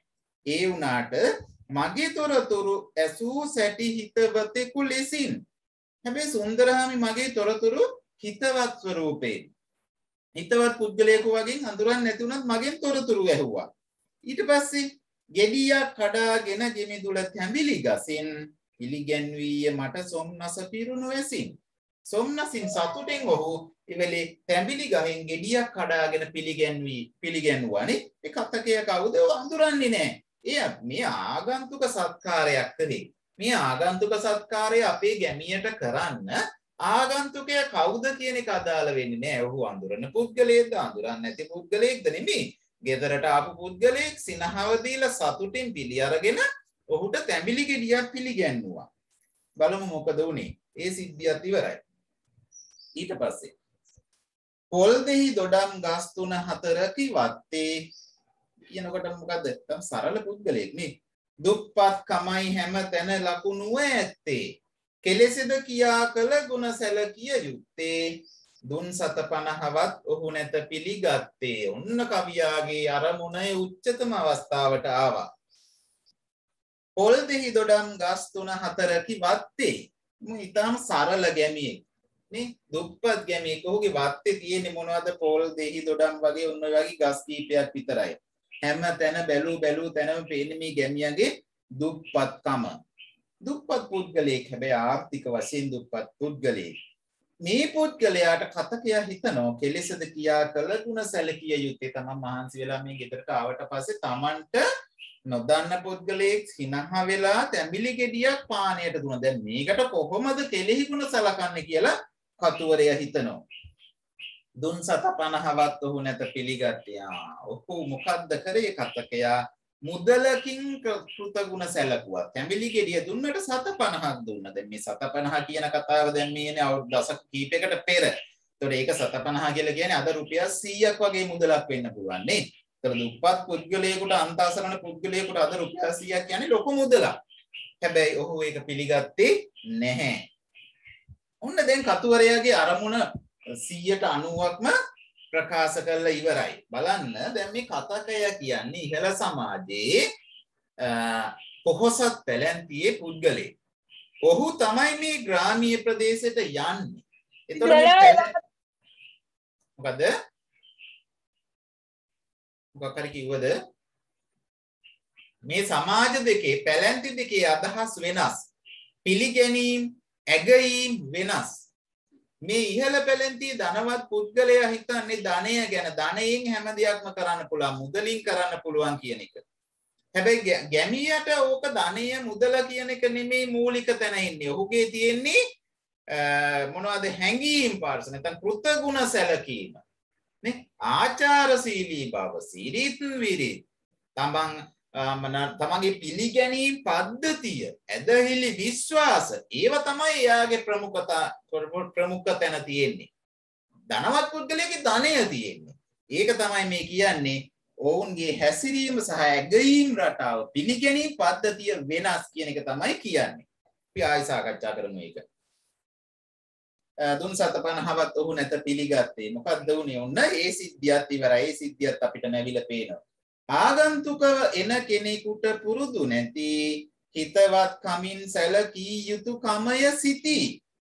ඔහු වෙත මුදලකින් මා කළ හැටිය තුති සිහිවී මගේ කම්බුල රතු පැහැය ගති යන්න කතුවරයට තේරුණා තමන් කරපු වරද. ආගන්තුකව එන කෙනෙකුට පුරුදු නැති පුරුදු නැති එන ආගන්තුකයෙකුට හිතවත් කැමින් සැලකී සැලකූ යුතු කමය සිටි ඔහු හිතවත් කමින් සැලකූ ආකාරය තමයි යාර. හිතවත්කමින් පුද්ගලයෙකුට නොදන්න පුද්ගලයෙකුට හොඳට සලකපු ආකාරය තමයි ගැමිය කරේ. ඔහු වෙත මුදලකින් මා කළ සැටිය තුති. තමන් කොහොමද අර ධනවත් පුද්ගලයා ඉහළ පැලැන්තියේ නිලධාරී නිලධාරී පැලැන්තියේ පුද්ගලයා කොහොමද ස්තුති කරේ මුදලකින්. ඒක සිහි වෙනකොට ඒ උදව්ව කර ඒ තුති පුද කරපු ඒ නිලධාරියාට ධනවත් නිලධාරියාට මොකද්ද මේ සිහිවි මගේ කම්බුල රතු පැහැය ගත්තා මගේ කම්බුල රතු වුණා මං කරපු වරද මොකක්ද කියලා මං කරේ ධනය මූලික තැන දාලා උසස් ගුණාංග පහත් කරලා සැලකුවා. ඒ උසස් ගුණාංග මුදලට සමාන කරන්න ගියා කියලා එයාට සිහි වෙනකොට එයාගේ වරද මතක් වෙනකොට තමයි මේ කම්බුල රතු පහ ගැන්නුනා කියලා කියන්නේ. ඔන්න කාව්‍ය පන්තිය. හරි. දැන් අපි මේක අනුව රස වින්දනය කරමු. හොඳ දැන් කවිය ගැන අපි අවබෝධ කරගත්තා. දැන් අපි ආයෙ මුලට යනවා. කවිය කවුද කියලා කිව්වා. කවුද? කොළඹ යුගයේ දෙවැනි පරපුරේ නිර්ව්‍යාජ අත්දැකීම් සහිතව කාව්‍යකරණෙහි නියලුණු කොළඹ යුගයේ දෙවැනි පරපුරේ කවියෙකු වශයෙන් විමල රත්න කුමාරගමයන් හැඳින්විය හැකිය ප්‍රශ්නයට ප්‍රවේශ වෙනවා. දැන් රස වින්දනයක් තියෙන නිසා අපිට ප්‍රශ්නයක් නැහැ. රස විඳින තමයි තියෙන්නේ. හින්දා ඔහුගේ සාර්ථක නිර්මාණයක් වශයෙන් ආගන්තුක සත්කාරය හැඳින්විය හැකිය කියලා පළවෙනි ඡේදය අවසන් කරා. හරි. කවියාගේ අත්දැකීම. අත්දැකීම මොකද්ද? විමල රත්න කුමාරගම කවියා දුෂ්කර ප්‍රදේශයේ සේවය කරන අවස්ථාවක ගැමියෙක්ගේ ගෙදරට යනවා. ගැමියෙක්ගේ ගෙදරකට යනකොට ඒ ගැමියා මේ කතකයා අපි කතකයා කියලා කියමු. කුමාර කුමාර මිනරත්න කුමාරගම කවිය කියලා කියන්නේ නෑ. අපි රස විඳිනට යා වෙන්නත් පුළුවන් වෙන කෙනෙක් වෙන්නත් පුළුවන්. එහෙනම් කතකයා. කතකයා ඒ ගැමියාගේ නිවසට යනකොට ගැමියා ආගන්තුක සත්කාර සැලකුවා. කොහොමද ආගන්තුක සත්කාරය සැලකුවේ සිනහ වෙලා තැඹිලි ගෙඩියකින් තැඹිලි ගෙඩිය පිළිගැන්වුවා. ඒකට කතකයා සත 50ක් දීලා ඒකට ස්තුති කරා. ස්තුති කරේ කොහොමද මුදල් වලින්. අන්න එහෙනම් අත්දැකීම් වෙච්ච සිද්ධිය. අත්දැකීම් වෙච්ච සිද්ධිය තමයි ඒක. ආගන්තුක කතකයා ගැමියගේ නිවසට යෑමත් ගැමියා ආගන්තුක සත්කාරය කළ ආකාරයත් ඒ සඳහා කතකයා මුදලින් උපකාර කළ ආකාරයත් අඩංගු සිද්ධියක් කතුවරයාගෙනම පද්‍ය පන්තිය සඳහා අත්දැකීම් වී ඇත. අත්දැකීම වෙන්න පුළුවන් මොකක් හරි දෙයක් අපිට එක්කෝ මනසට දැනෙන අත්දැකීමක්. මනසට දැනෙන අත්දැකීමක් කියන්නේ කවුරු හරි දැක්ක ගමන් අපේ හිතට ආදරයක් ප්‍රේමයක් ඇති වෙනවා නම් ඔන්න ප්‍රේමය ගැන කවි ලියනවා. ඒතර ප්‍රේමය තමයි අත්දැකීම් වෙලා තියෙන්නේ. අපේ රටේ තියෙන තත්ත්වය බලලි වෙලා රට දැන් මේ යන පැත්ත බැලුවට පස්සේ හරියන්නේ අපිට මොකක් හරි වෙනසක් කරන්න ඕන. ජාතිකාභිමානය, දේශාභිමානයනේ අත්දැකීම් වෙන ඔය වගේ සිද්ධියක්. අපි නැත්තම් මේ පාරේ යනකොට කෙසෙල්ලෙල්ලක් පෑගිලා ලිස්සල වැටෙනවා. ඔන්න අත්දැකීම. මේ කෙසෙල්ලෙල්ලක් පෑගිලා වැටෙනවා. ඔන්න අත්දැකීම. ඊට පස්සේ ඕක ගැන කවි කියන්න පුළුවන්. අත්දැකීම කියන්නේ තමන් අත්දැකපු දේ. කෙසෙල් එල්ල පෑගිලා වැටුණා නම් අපි අරමුණ කියනවා මෙහෙම පාරේ දාන්න එපා කියන එක අරමුණ කරගෙන කවියක් ලියනවා. ඒ වගේ කුමාරගමට මොකක්ද අත්දැකීම් උනේ ගැමි සමාජයේ ගැමියෙකු Tamanට ආගන්තුක සත්කාර කරපු සිද්ධියක් අත්දැකීම් වුණා.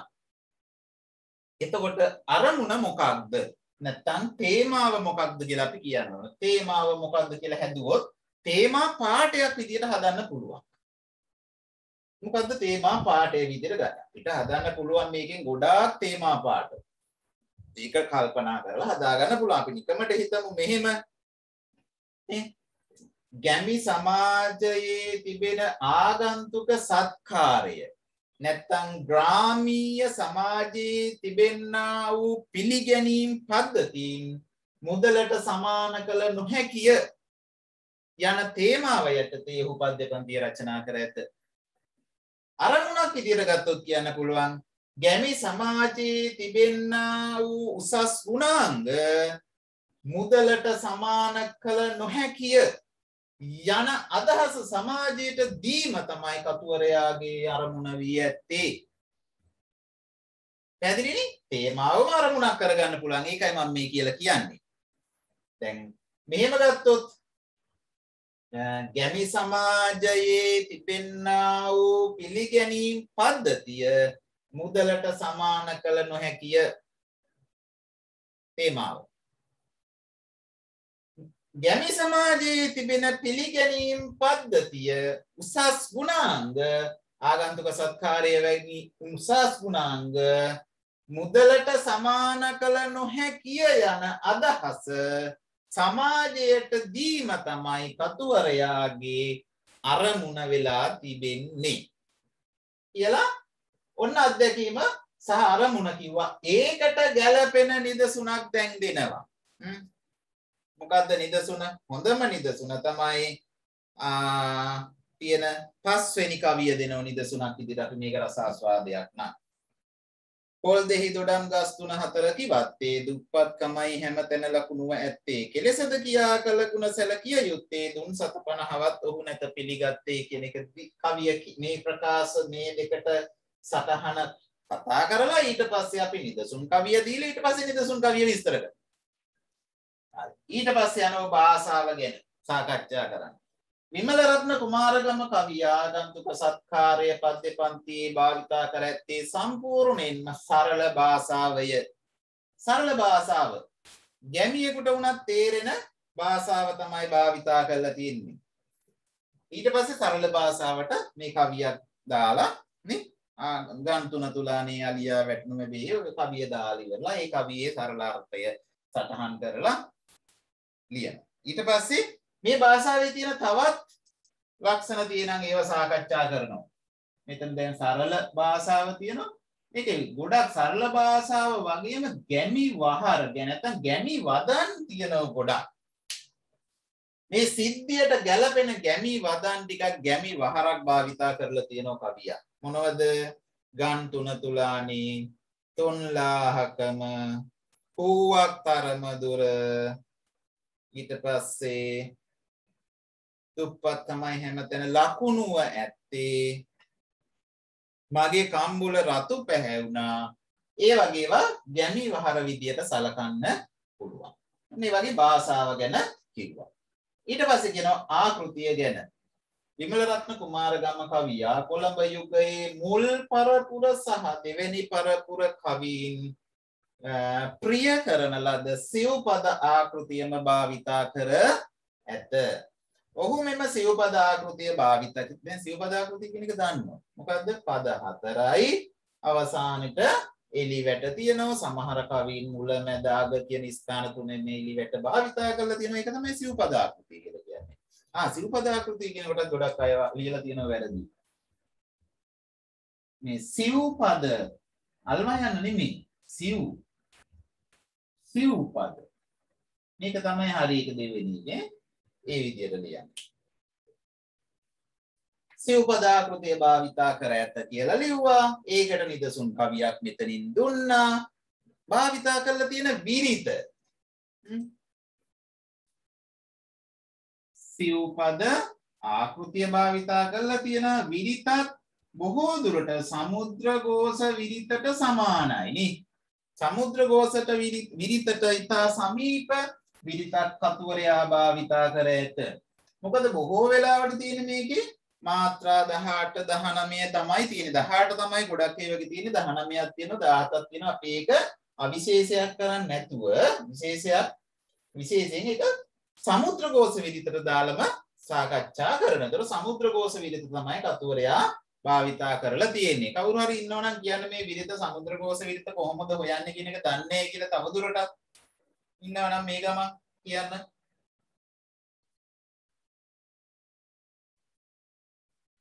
හරි. කාව්‍ය උපක්‍රම.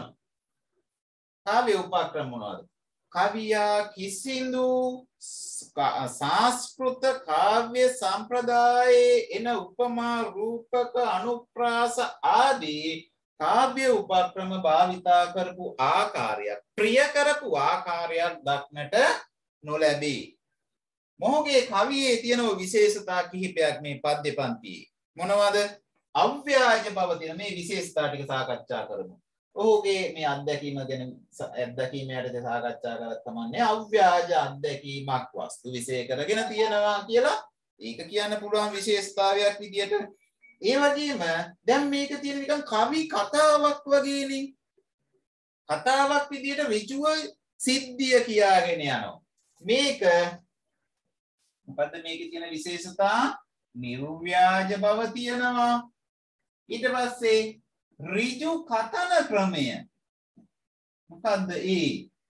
ඍජු කතන ක්‍රමය නික- සරලව කතාවක් කියාගෙන යන ආකාරයෙන් ඍජුව සිද්ධිය කියනවා. බලන්න. කතුවරයා කිසි ප- අපහසුවක් නැතුව කියාගෙන යනවා. ගන් තුන තුලානේ අලියා වැටුණු ඇවේ සුන්දරහාමි එතරම් පොහොසතෙක් නොවේ. ඍජුව කතාව කියාගෙන යනවා. ඔහුගේ ගමට මා ගිය ඒ පළමු වර තවමත් සිතේ ඇත අමතක නොවන යුර. කවිය කියාගෙන යනවා සිද්ධි ටික.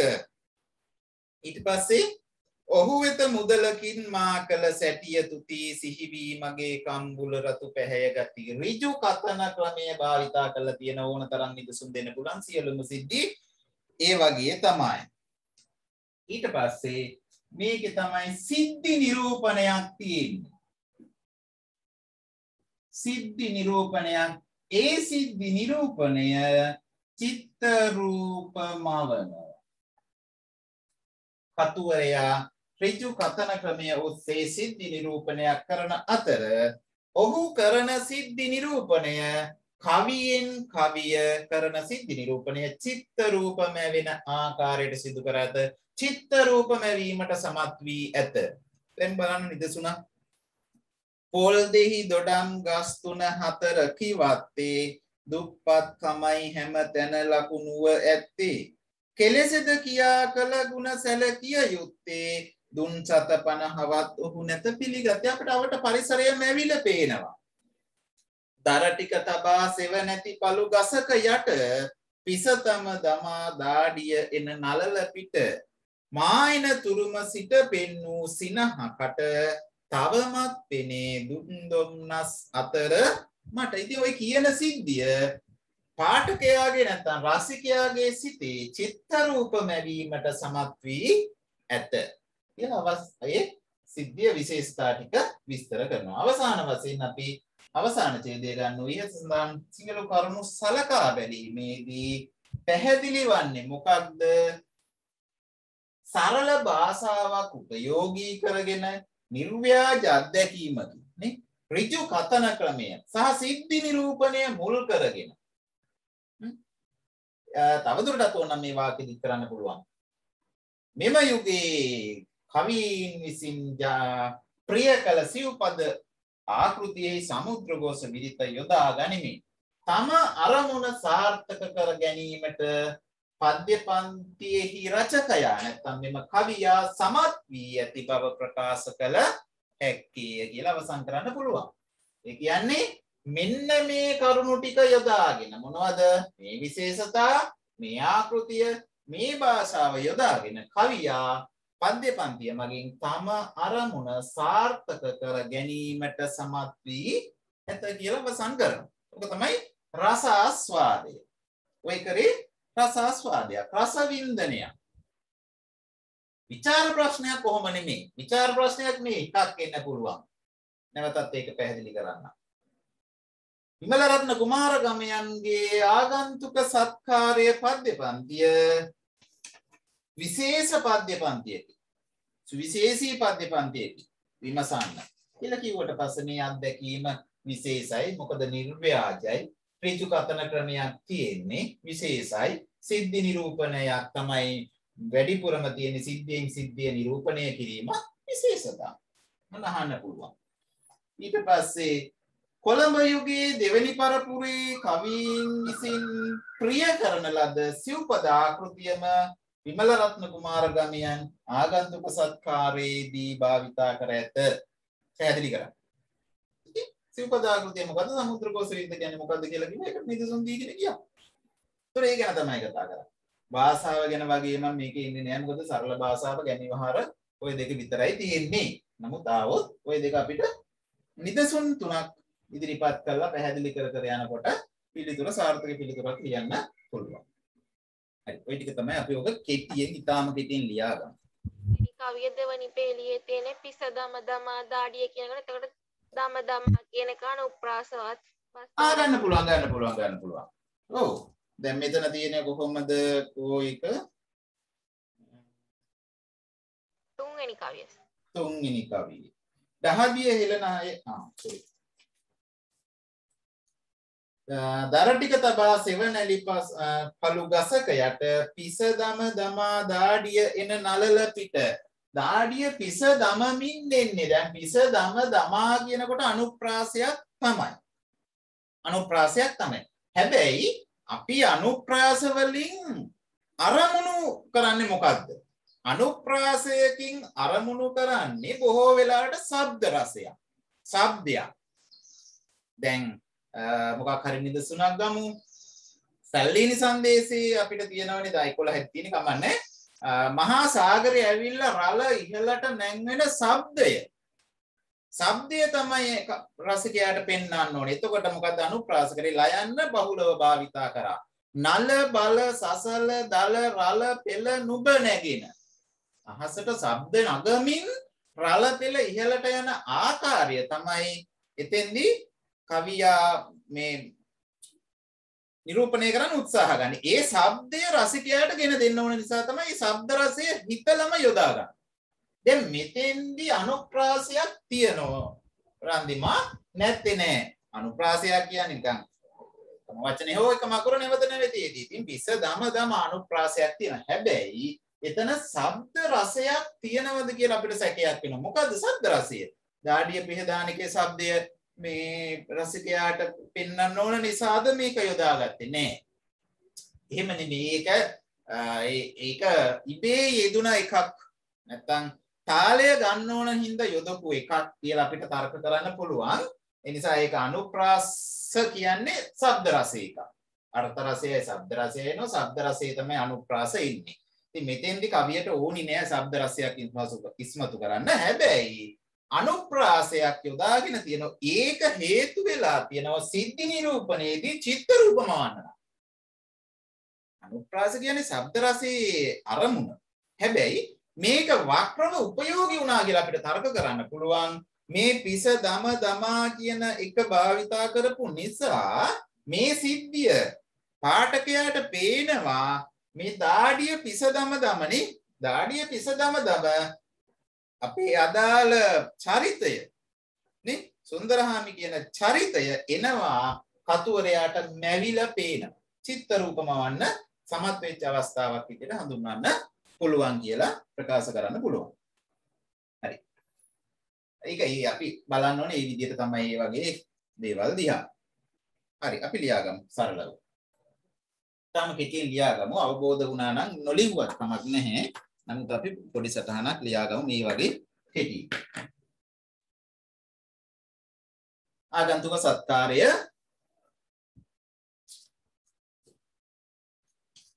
විමල රත්න කුමාරගම. අංක 1 කවියා. සර් පොඩ්ඩක්.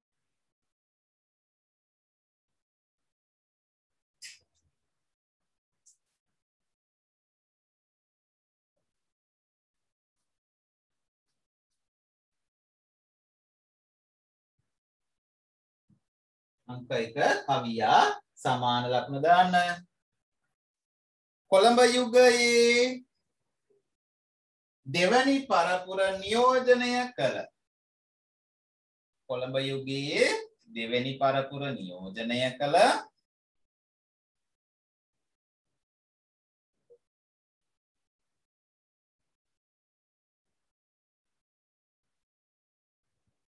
නිර්ව්‍යාජ අත්දැකීම් නිර්ව්‍යාජ අත්දැකීම්.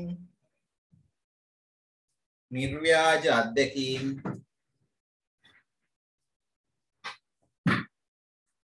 නිර්ව්‍යාජ අත්දැකීම්. කවිය සඳහා භාවිත කර කවිය සඳහා භාවිත කළ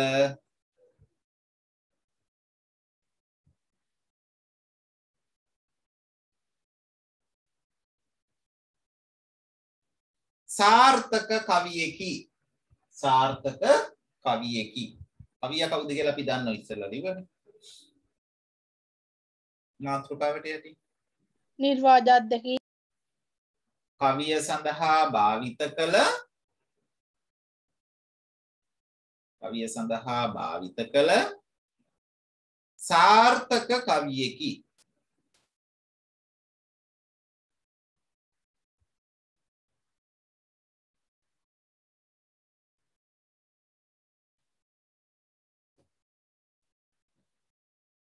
අංක දෙක අත්දැකීම. අංක දෙක අත්දැකීම.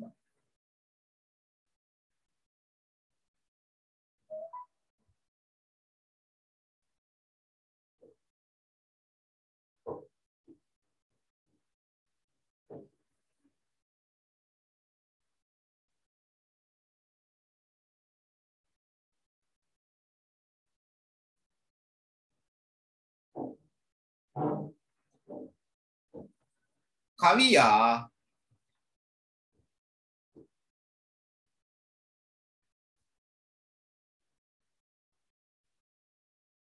ග්‍රාමීය ප්‍රදේශයක ග්‍රාමීය ප්‍රදේශයක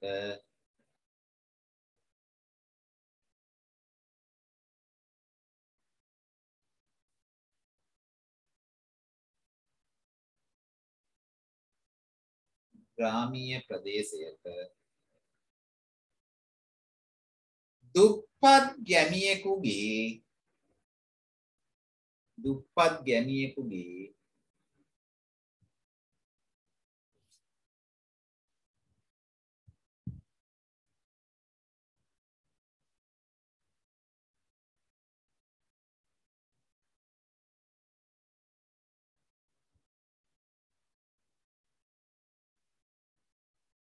නිවසට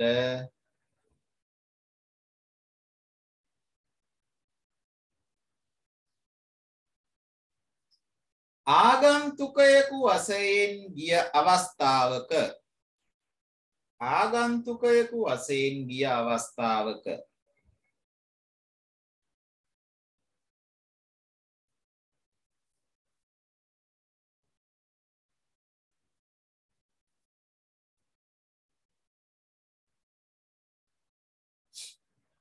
ගැමියා ආගන්තුක සත්කාර කළ ආකාරයත් ගැමියා ආගන්තුක සත්කාර කළ ආකාරයත්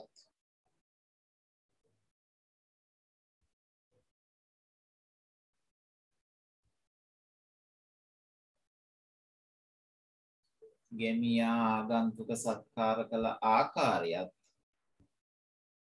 කතකයා එයට ප්‍රතිචාර දැක් වූ ආකාරයත්. කතකයා එයට ප්‍රතිචාර දැක් වූ ආකාරයත්.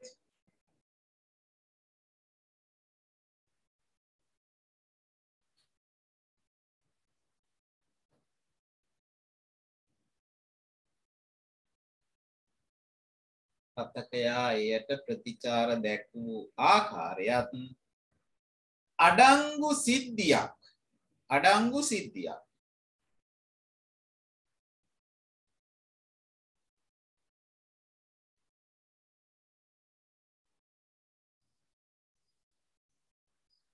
පද්‍ය පන්තිය සඳහා අත්දැකීම් වී ඇත.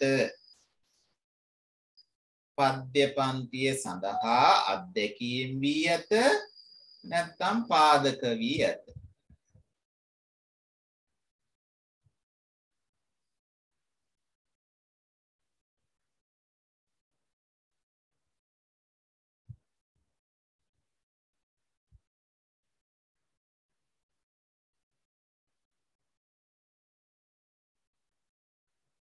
ඊට පස්සේ ලියාගන්න තේමාව ඇලයිරක් අරමුණ. තේමාව ඇලයිරක් අරමුණ ලියාගන්න.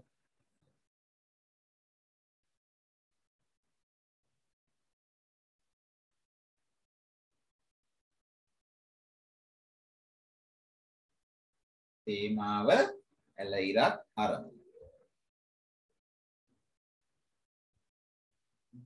දුප්පත් ගැමි සමාජයේ පවතින දුප්පත් ගැමි සමාජයේ පවතින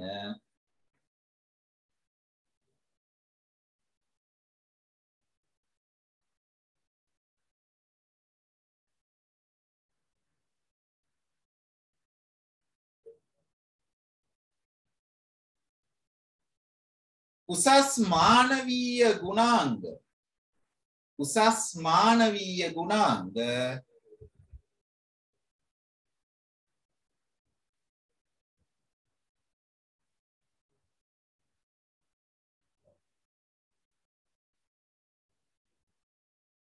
උසස් මානවීය ගුණාංග. මුදලට සමාන කළ නොහැකිය. මුදලට සමාන කළ නොහැකිය.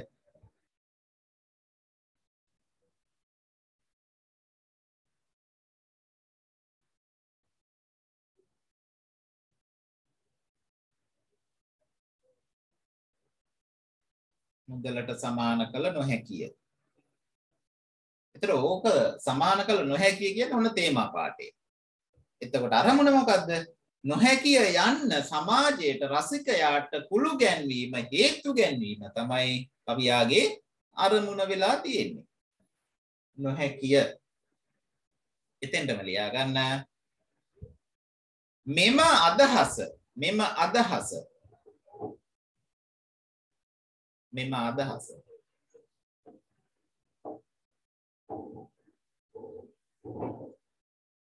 රසවත් ලෙසින් රසවත් ලෙසින්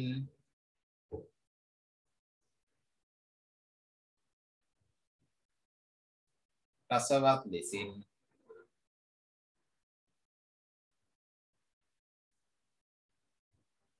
සහෘදයා වෙත ඉදිරිපත් කිරීම සහෘදයා වෙත ඉදිරිපත් කිරීම.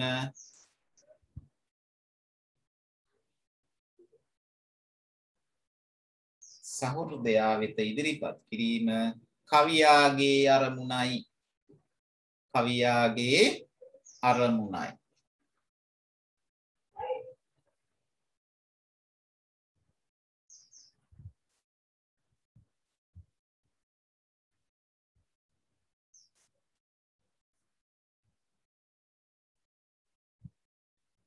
ඊළඟට අංක 3 භාෂාව භාෂාව භාෂාව භාෂාව යටතේ ලියා ගන්න අංක එක හරි තරු ලකුණක් දාලා සරල භාෂාව. එතකොට ඒක විස්තර කරන්න සරල.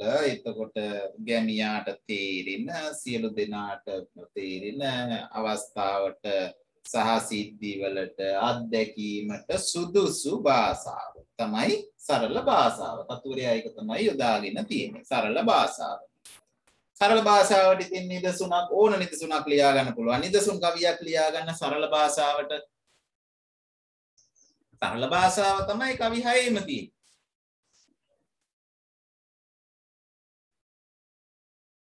පළවෙනි එක ලියාගත්තත් කමන්නේ ගන්තුන තුලානේ අලියා වැටුණු වැවේ සුන්දර හාමි එතරම් පොහොසතෙක් නොවේ. ඒ ඇති තෙලි දෙකක් ලියලා.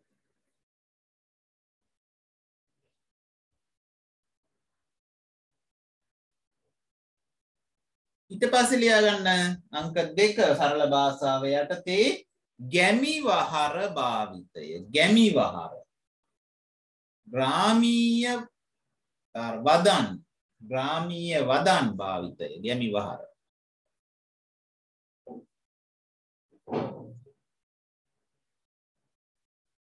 තමා දම දම ලියන්න නිදසුන් ගන්තුන තුලානේ.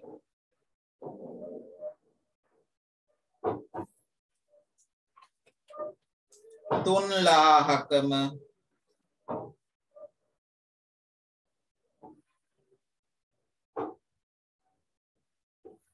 හූවත්තරම හූවත්තරම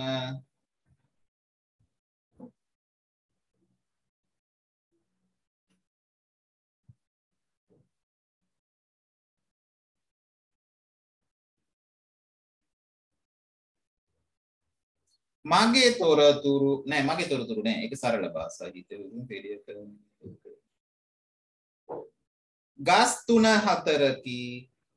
ගස් තුන හතරකි. කමා දම දම ලියන්න. ගස් තුන හතරකි. එක ගැමි බහරක් ගස් තුන හතරයි ගැන ගස් තුන හතර නෙමෙයි. තියෙනවා පොඩ්ඩයි කියන්නේ කියන එකනේ ගස් තුන හතරකි.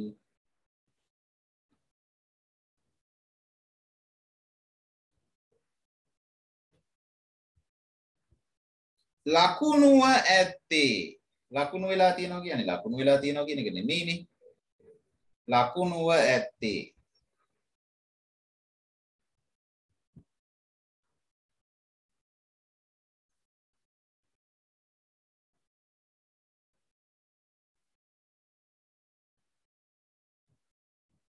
අවසාන කවියේ තියෙන්නේ මොකක්ද හොඳ ගැමි වහරක් කියන්නකෝ. කාටද පුළුවන්?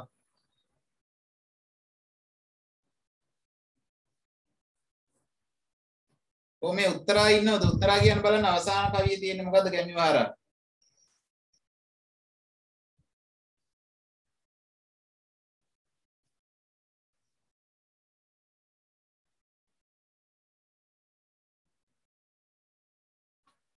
පුළුවන් කෙනෙක් කියන්න බලන්න. කම්මුල රතු පැහැය ගති. ඕ කම්බුල රතු පැහැය. කම්බුල් කම්බුල රතු පැහැය ගති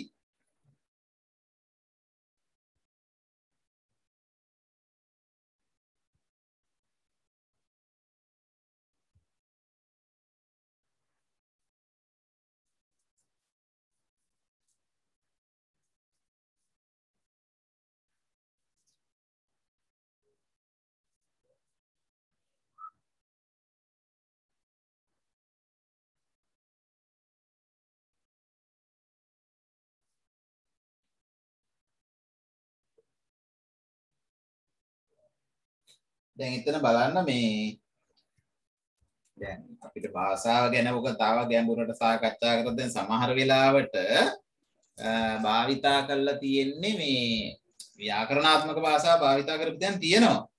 දැන් හේනට කොසින් ගෙන්හුවක් තරම දුර එනවා දිටිමි මයිටි බැඳගෙන වියලිදර එනවා දිටිමි.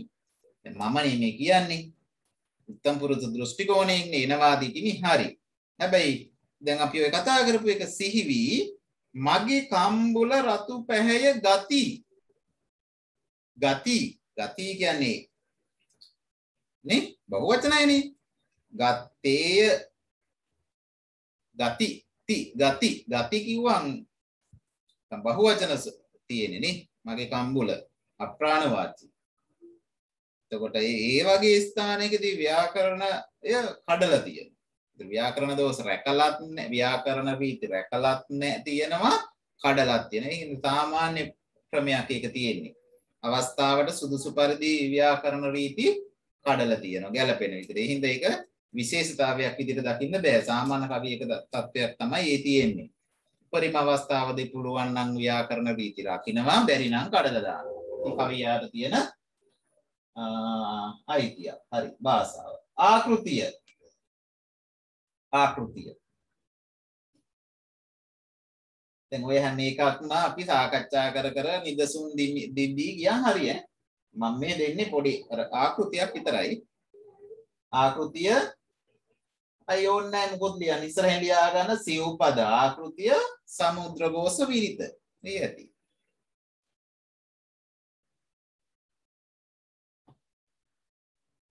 සිව්පද ආකෘතිය සමුද්‍රගෝස විරිත.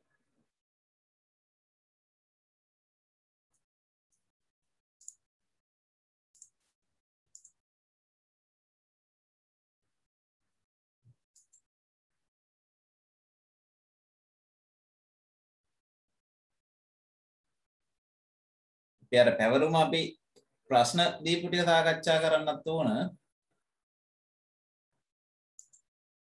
ප්‍රශ්න හදාගෙන ඉන්න කිව්වනේ.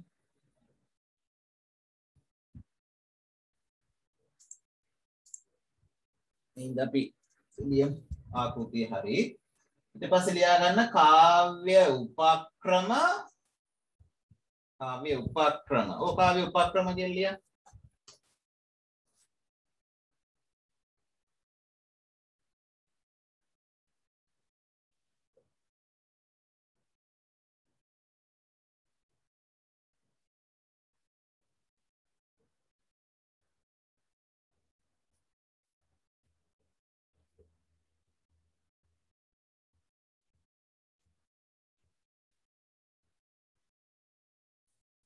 සංස්කෘත කාව්‍ය ඉස්සරහින් යන සංස්කෘත කාව්‍ය උපක්‍රම. සංස්කෘත කාව්‍ය උපක්‍රම.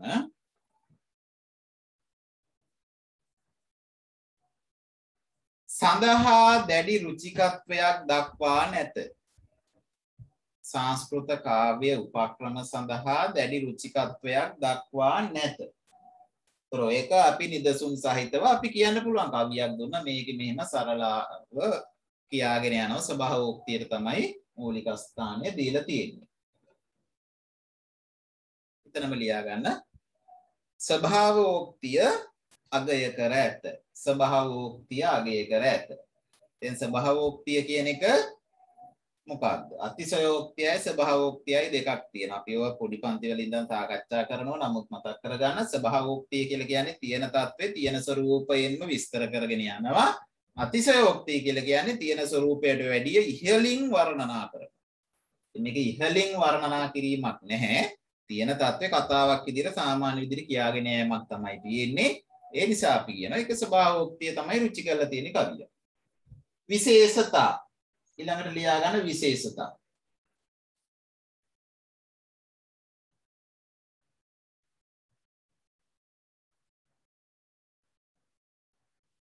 විශේෂතා යටතේ තරු ලකුණු දම දම ලියන්න පළවෙනි තරු ලකුණ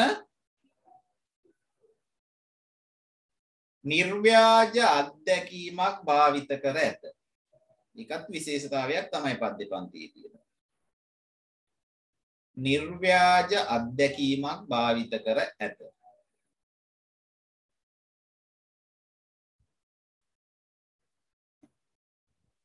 නිර්ව්‍යාජ අත්දැකීමක් භාවිත කර ඇත.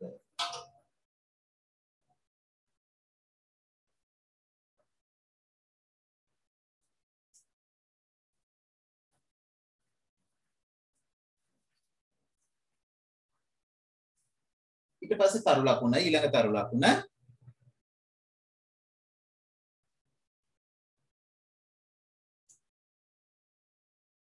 ඍජු කතන ක්‍රමය. එතන ලියලා තියෙන්නේ ඍජු කතන ක්‍රමය.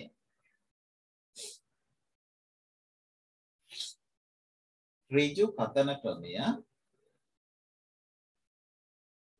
භාවිත කර ඇත. දෙතර නිර්ව්‍යාජ අත්දැකීමක් භාවිත කර ඇත කිව්වම අපිට කවියක් දීලා ඒක විස්තර කරන්න පුළුවන්. ඍජු කතන ක්‍රමය භාවිත කර ඇත කිව්වම ඕන ඕනම කවියක් දීලා විස්තර කරන්න පුළුවන් මේක ඍජුව කතාවක් විදියට විස්තර කරගෙන යනවා කියන එක තමයි ඍජු කතන ක්‍රමය කියලා කියන්නේ. ඊළඟ තරු ලකුණ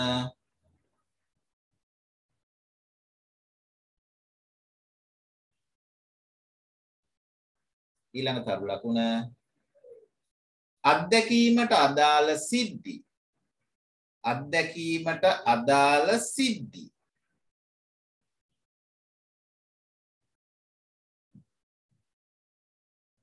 අත්දැකීමට අදාළ සිද්ධි. එකින් එක එකින් එක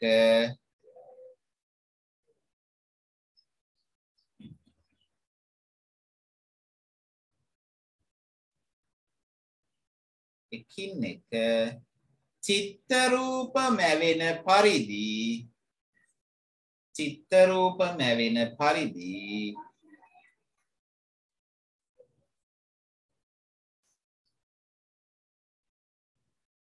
නිරූපණය කර ඇත. නිරූපණය කර ඇත.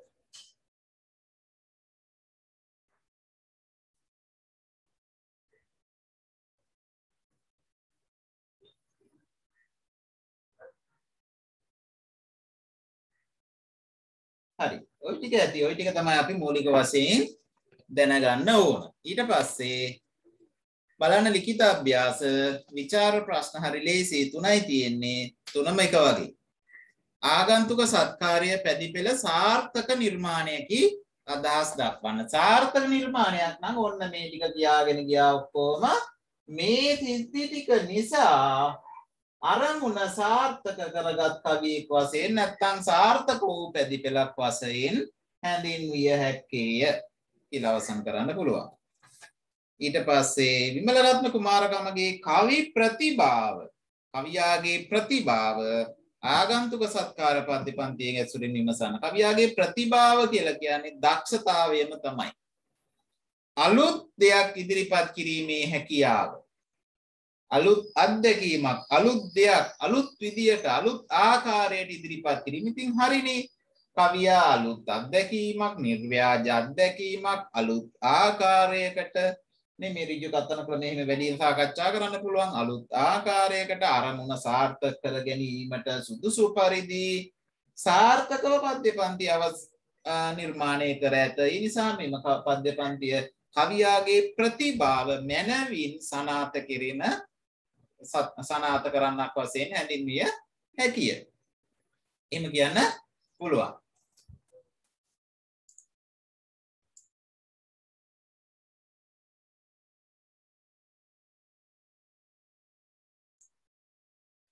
හරි එතකොට දෙවෙනි එකත් ලේසි ඒ වගේ ප්‍රතිභාව කියන්නේ මේ මේ ටික දක්ෂතාවයෙන් අලුත් විදියට කරලා තියෙනවා කියලා කියන්න පුළුවන්.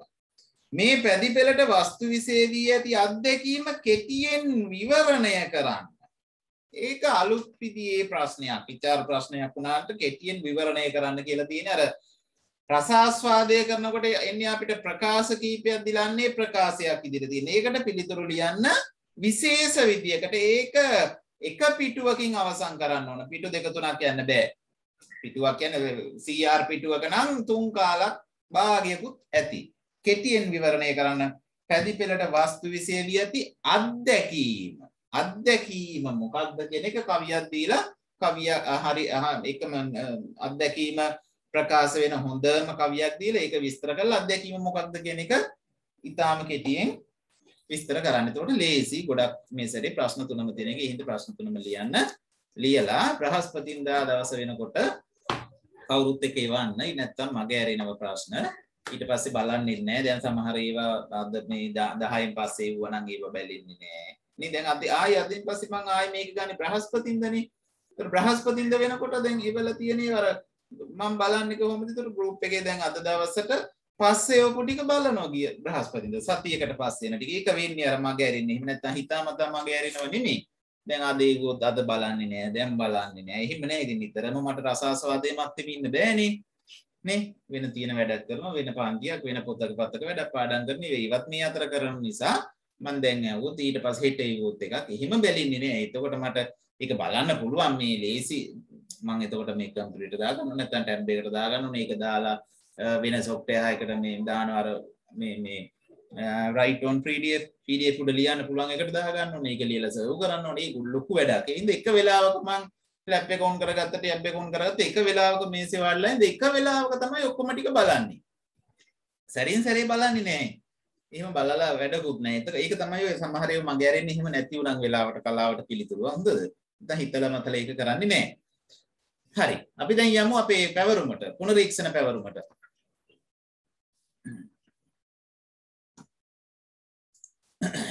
ගන්න හදාගෙන අපි සුභාසිතයනේ තියෙන්නේ. සුභාසිතය ඇසුරෙන් හැකිතරම් ප්‍රශ්න සහ පිළිතුරු ලියාගෙන ඉන්න කියන එකනේ කවුරුත් කරලා ඇති ඒක හැම සතියකම ඒක කරගෙන දිගට එන්න ඕන කවුරුත් එක්ක නැත්නම් අපිට මුල් පාඩම් අමතක වෙන නිසා ලබන සතියේ තියෙන්නේ වෙසක් පහන. වෙසක් පහන කියන්නේ ජී.බී. සේනානායකගේ ඇසුරින් ඒ හැඳින්වීම ඇතුලෙන් කෙටි ප්‍රශ්න හදාගෙන ඉන්න ඕන පිළිතුරුත් එක්ක. දැන් අපි සුභාසිතය ඇසුරින් බලමු. ඉන්න පිළිවෙලට ප්‍රශ්නයක් අහනවා ඊළඟ එක්කෙනාගේ පිළිතුර අහනවා ඒ විදිහට යනවා. ඉස්සෙල්ලම ඉන්නවා සෙව්වන්දි. සෙව්වන්දි පළවෙනි ප්‍රශ්නේ කියන්න.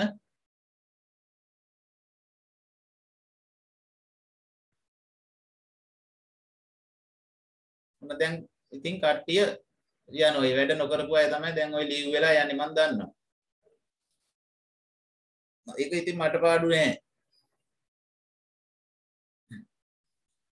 නොගියත් ඔය වැඩ නොකරත් ඔය මේ වෙලාවේ ඉන්න ඕනේ. ඉතින් ඔය ඇහෙනවනේ අනිත් අය කතා කරන එක හරි ඇහුණා කවුද මේ සුභාසිතේ ලිව්වේ කියන කාරේ මතක තියෙයි. සෙව්වන්දේ මොකක් හරි ප්‍රශ්නයක් නම් chat එකක් දාන්න. මයික් එක හරි නැත්තම් ඉස්සෙල්ලා බැරුණාද වේද? සෙනුරිගේ මයික් එක නෑනේ අදත් නැද්ද සෙනුරි?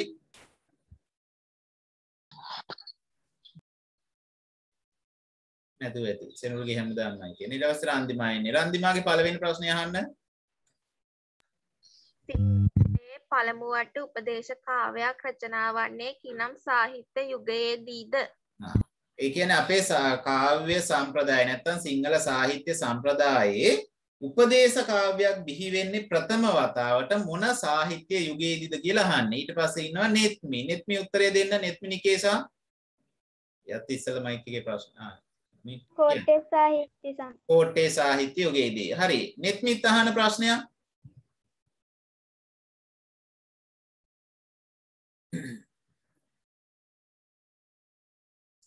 නෙත්මි ලියාගත්ත ලියාගත්තද ප්‍රශ්න හැදුවද? ඔව් ආ කියන්න ඉතින් ප්‍රශ්නයක්. සුභාෂිතය අගේ නිර්මාණයද ඒ කුමන යුගයේ රච වූවක්ද ආ සුභාසිතය කුමන යුගයේද අනිත් එක මොකද්ද? අගේ නිර්මාණයක් ආ රන්දිමා උත්තර දෙන්න.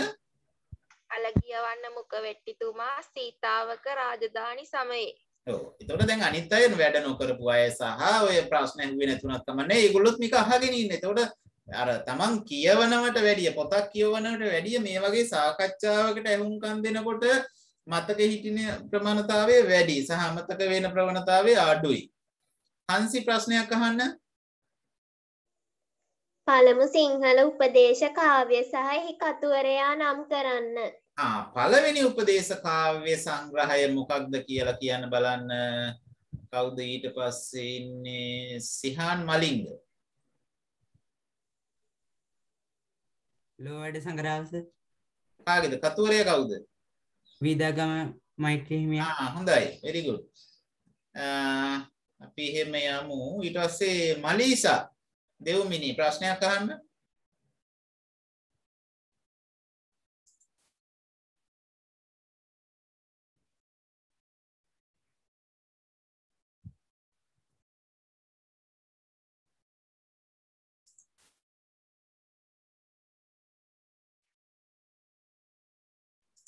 ආ සෙනුරගේ මයික් එක පුළුවන්ලු දැන් නේ. කො මලීස නැද්ද? සෙනුරි අහන ප්‍රශ්නයක් එන? සුභාෂිතය රචනා කිරීමේ අරමුණ කුමක්ද? ආ සෙනුරි ඉන්නේ පල්ලෙහා. ඒතර වෙන කවුරු හරි ඉන්නවා සෙනුරි මලීසා කියලා එක්කෙනෙක්. යා කි තමයි මයික් එක ගැන මං කිව්වේ. අනිත් සෙනුරිට පුළුවන්. හරි ඒක හංසි උත්තරේ දෙන්න බලන්න. පාලි සංස්කෘත නොදන්නා අයට නීති ශාස්ත්‍රය ඉගෙනීමට උපකාර පිරීම පිණිස හරි. හරි. ආ මං හරි කිව්වට හරියන්නේ නැහැ නේ. ප්‍රශ්නේ කියව ලියපු කෙනාට වෙන උත්තරයක් තියෙද්ද නැහැ කියන්න හරිද කියලා. හරි සර්. ආ, හරි. ඊට පස්සේ අපි අහා සේමිනි. සේමිනිගේ ප්‍රශ්නයක් අහන්න. උපදේශ කාව්‍ය වලින් පැහැදිලි කරන්නේ මොන ගුණාංග? පැහැදිලි කරන්නේ මොනවාද? උපදේශ කාව්‍ය වලින් පැහැදිලි කරන්නේ මොනවද කියලා අහනවා. ආත්මා, ඔයා කියන්න දුව.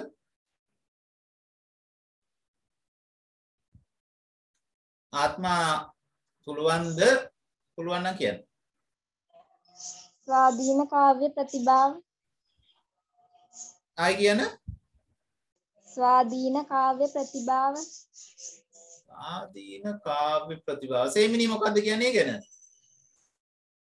කුසලෙහි අගය සුදුන දුදනගුණු බොරු නොකීමේ අගය උඩගු නොවීම උගතුන්ගේ ස්වභාවය ආදී මේවා පැහැදිලි කරේ කියන එක ලිව්වේ. ඕ ඒක තමයි ගැන මේ මට හිතුණා සේමිනියකින් අදහස් කරේ මේ උපදේශ කාව්‍යවලින් කියන්නේ මොනවද සමාජයට දෙන්න සමාජයට දෙන්න අදහස් කරන්නේ මොනවද කියන එක. එතකොට ආත්මයික තේරුම් ගත්තේ ඒ කවි වලින් මේ කවියාගේ ප්‍රතිභාව හෙළි වෙනවා කියන එක තමයි එයාගේ හෙළිවන්නේ මොකද්ද කියන එක. හෙළිවන්නේ මේ සමාජයට දෙන ගුණාංග තමයි මේ ප්‍රශ්نين අදහස් කරේ කියන එක මට තේරුණා. ආත්ම ප්‍රශ්නයක් අහන්න. සුභාෂිතේ රචනා කිරීමේ අදහස් ලබාගත් වෙනත් කෘති මොනවාද? වෙනත් කෘති කොටස් තුනක් තියෙනවා. මං අහනවා ඒකෙ එක එක විදිහට. ඒ කොටස් වලින් මට කියන්න සංස්කෘත පොත් මොනවද කියලා කියන්න කවුද? සංජලි. හිතෝපදේශය පංචතන්ත්‍රය කුවල යානන්ද. හරි. පාලි පොත් මොනවද කියලා කියන්න කවීසා? ධම්මපදය. ධම්මපදයනේ ඊට පස්සේ සිංහල පොතුත් තිබුණද?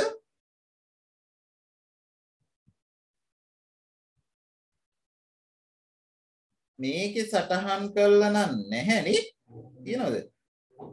නෑ. සිංහල පොත් නෑ. ඉතින් අපිට හිතන්න පුළුවන් ලොවැඩ සංග්‍රහ ඉස්සෙල්ලා රචනා වෙච්ච හින්දා ඒකේ ආభాසය ලැබෙන්නේ නැති කියලා. කිරුණි කියන්න බලන්න ද්‍රවිඩ පොත්. කිරුණි කවිසා. MG අඳුරේ නාල්වලි. අඳුරේ නාල්වලි. අමෝත් නෙත්තර. අඳුරේ නාල්වලි. හරි හරි හරි හරි හරි හිරුණි. අමෝත් ප්‍රශ්නයක් අහන්න බලන්න. අඳුරේ නාල්වලි. හරි හරි හිරුණි හරි.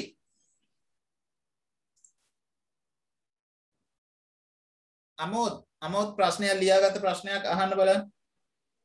මෙහි එන පද ලියා තිබෙන්නේ කුමන විරිතෙන්ද? කුමන විරිතෙන්ද?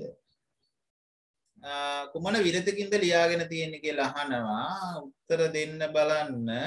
සිත්මි පාරින්දිය සමුද්‍රඝෝෂ විරිත. ආ සමුද්‍රඝෝෂ විරිත හරිද? උත්තරේ අමුත්?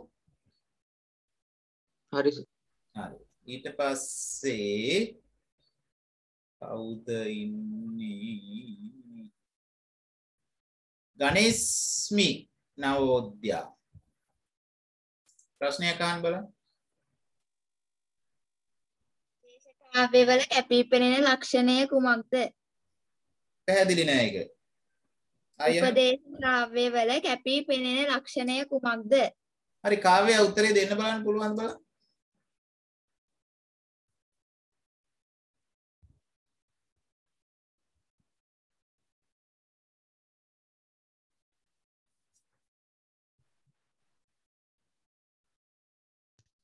ගැඹුරු ජීවන දර්ශනයක් සරලව පහදා දීමත් කාලයකට දේශයකට පමණක් සීමා නොවීමත් පොතේ තියෙන විදිහටම කිව්වද ඔයද? හරිද ගණේෂ්මි හරිද?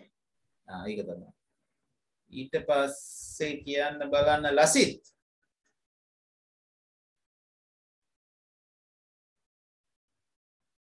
ප්‍රශ්නයක් අහන්න. මයික් එක වැඩ කරනවා නම් කරන්න තියෙන්නේ මයික් එක ඔන් කරලා මට කියන්න. මයික් එක වැඩ වෙනවා කියලා. එතකොට හරිනේ. අර අහන ප්‍රශ්නෙට උත්තර නොදුන්නම් තමයි මම එහෙම හිතන්නේ.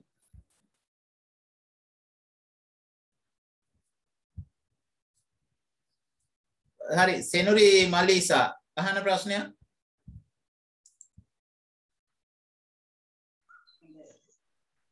සුභාෂිතයේ අඩංගු පද්‍ය සංඛ්‍යාව කොපමණද? ආ සුභාෂිතේ අඩංගු පද්‍ය කීයද කියලා අහනවා. කවුද අපි අහමු HKG තරුසි 100යි. හරිද? මලිසා? හරි සර්. ඊට පස්සේ දිනෙත් ප්‍රශ්නයක් අහන්න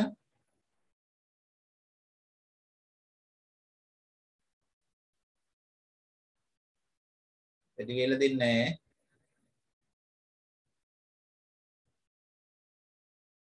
චමුදි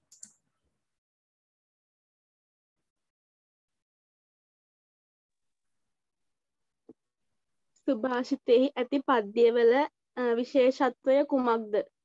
විශේෂත්වයක් තියනලු ඒ මොකක්ද කියලා අහනවා. නෙත් මේ කියන්න බලන්න උත්තරේ.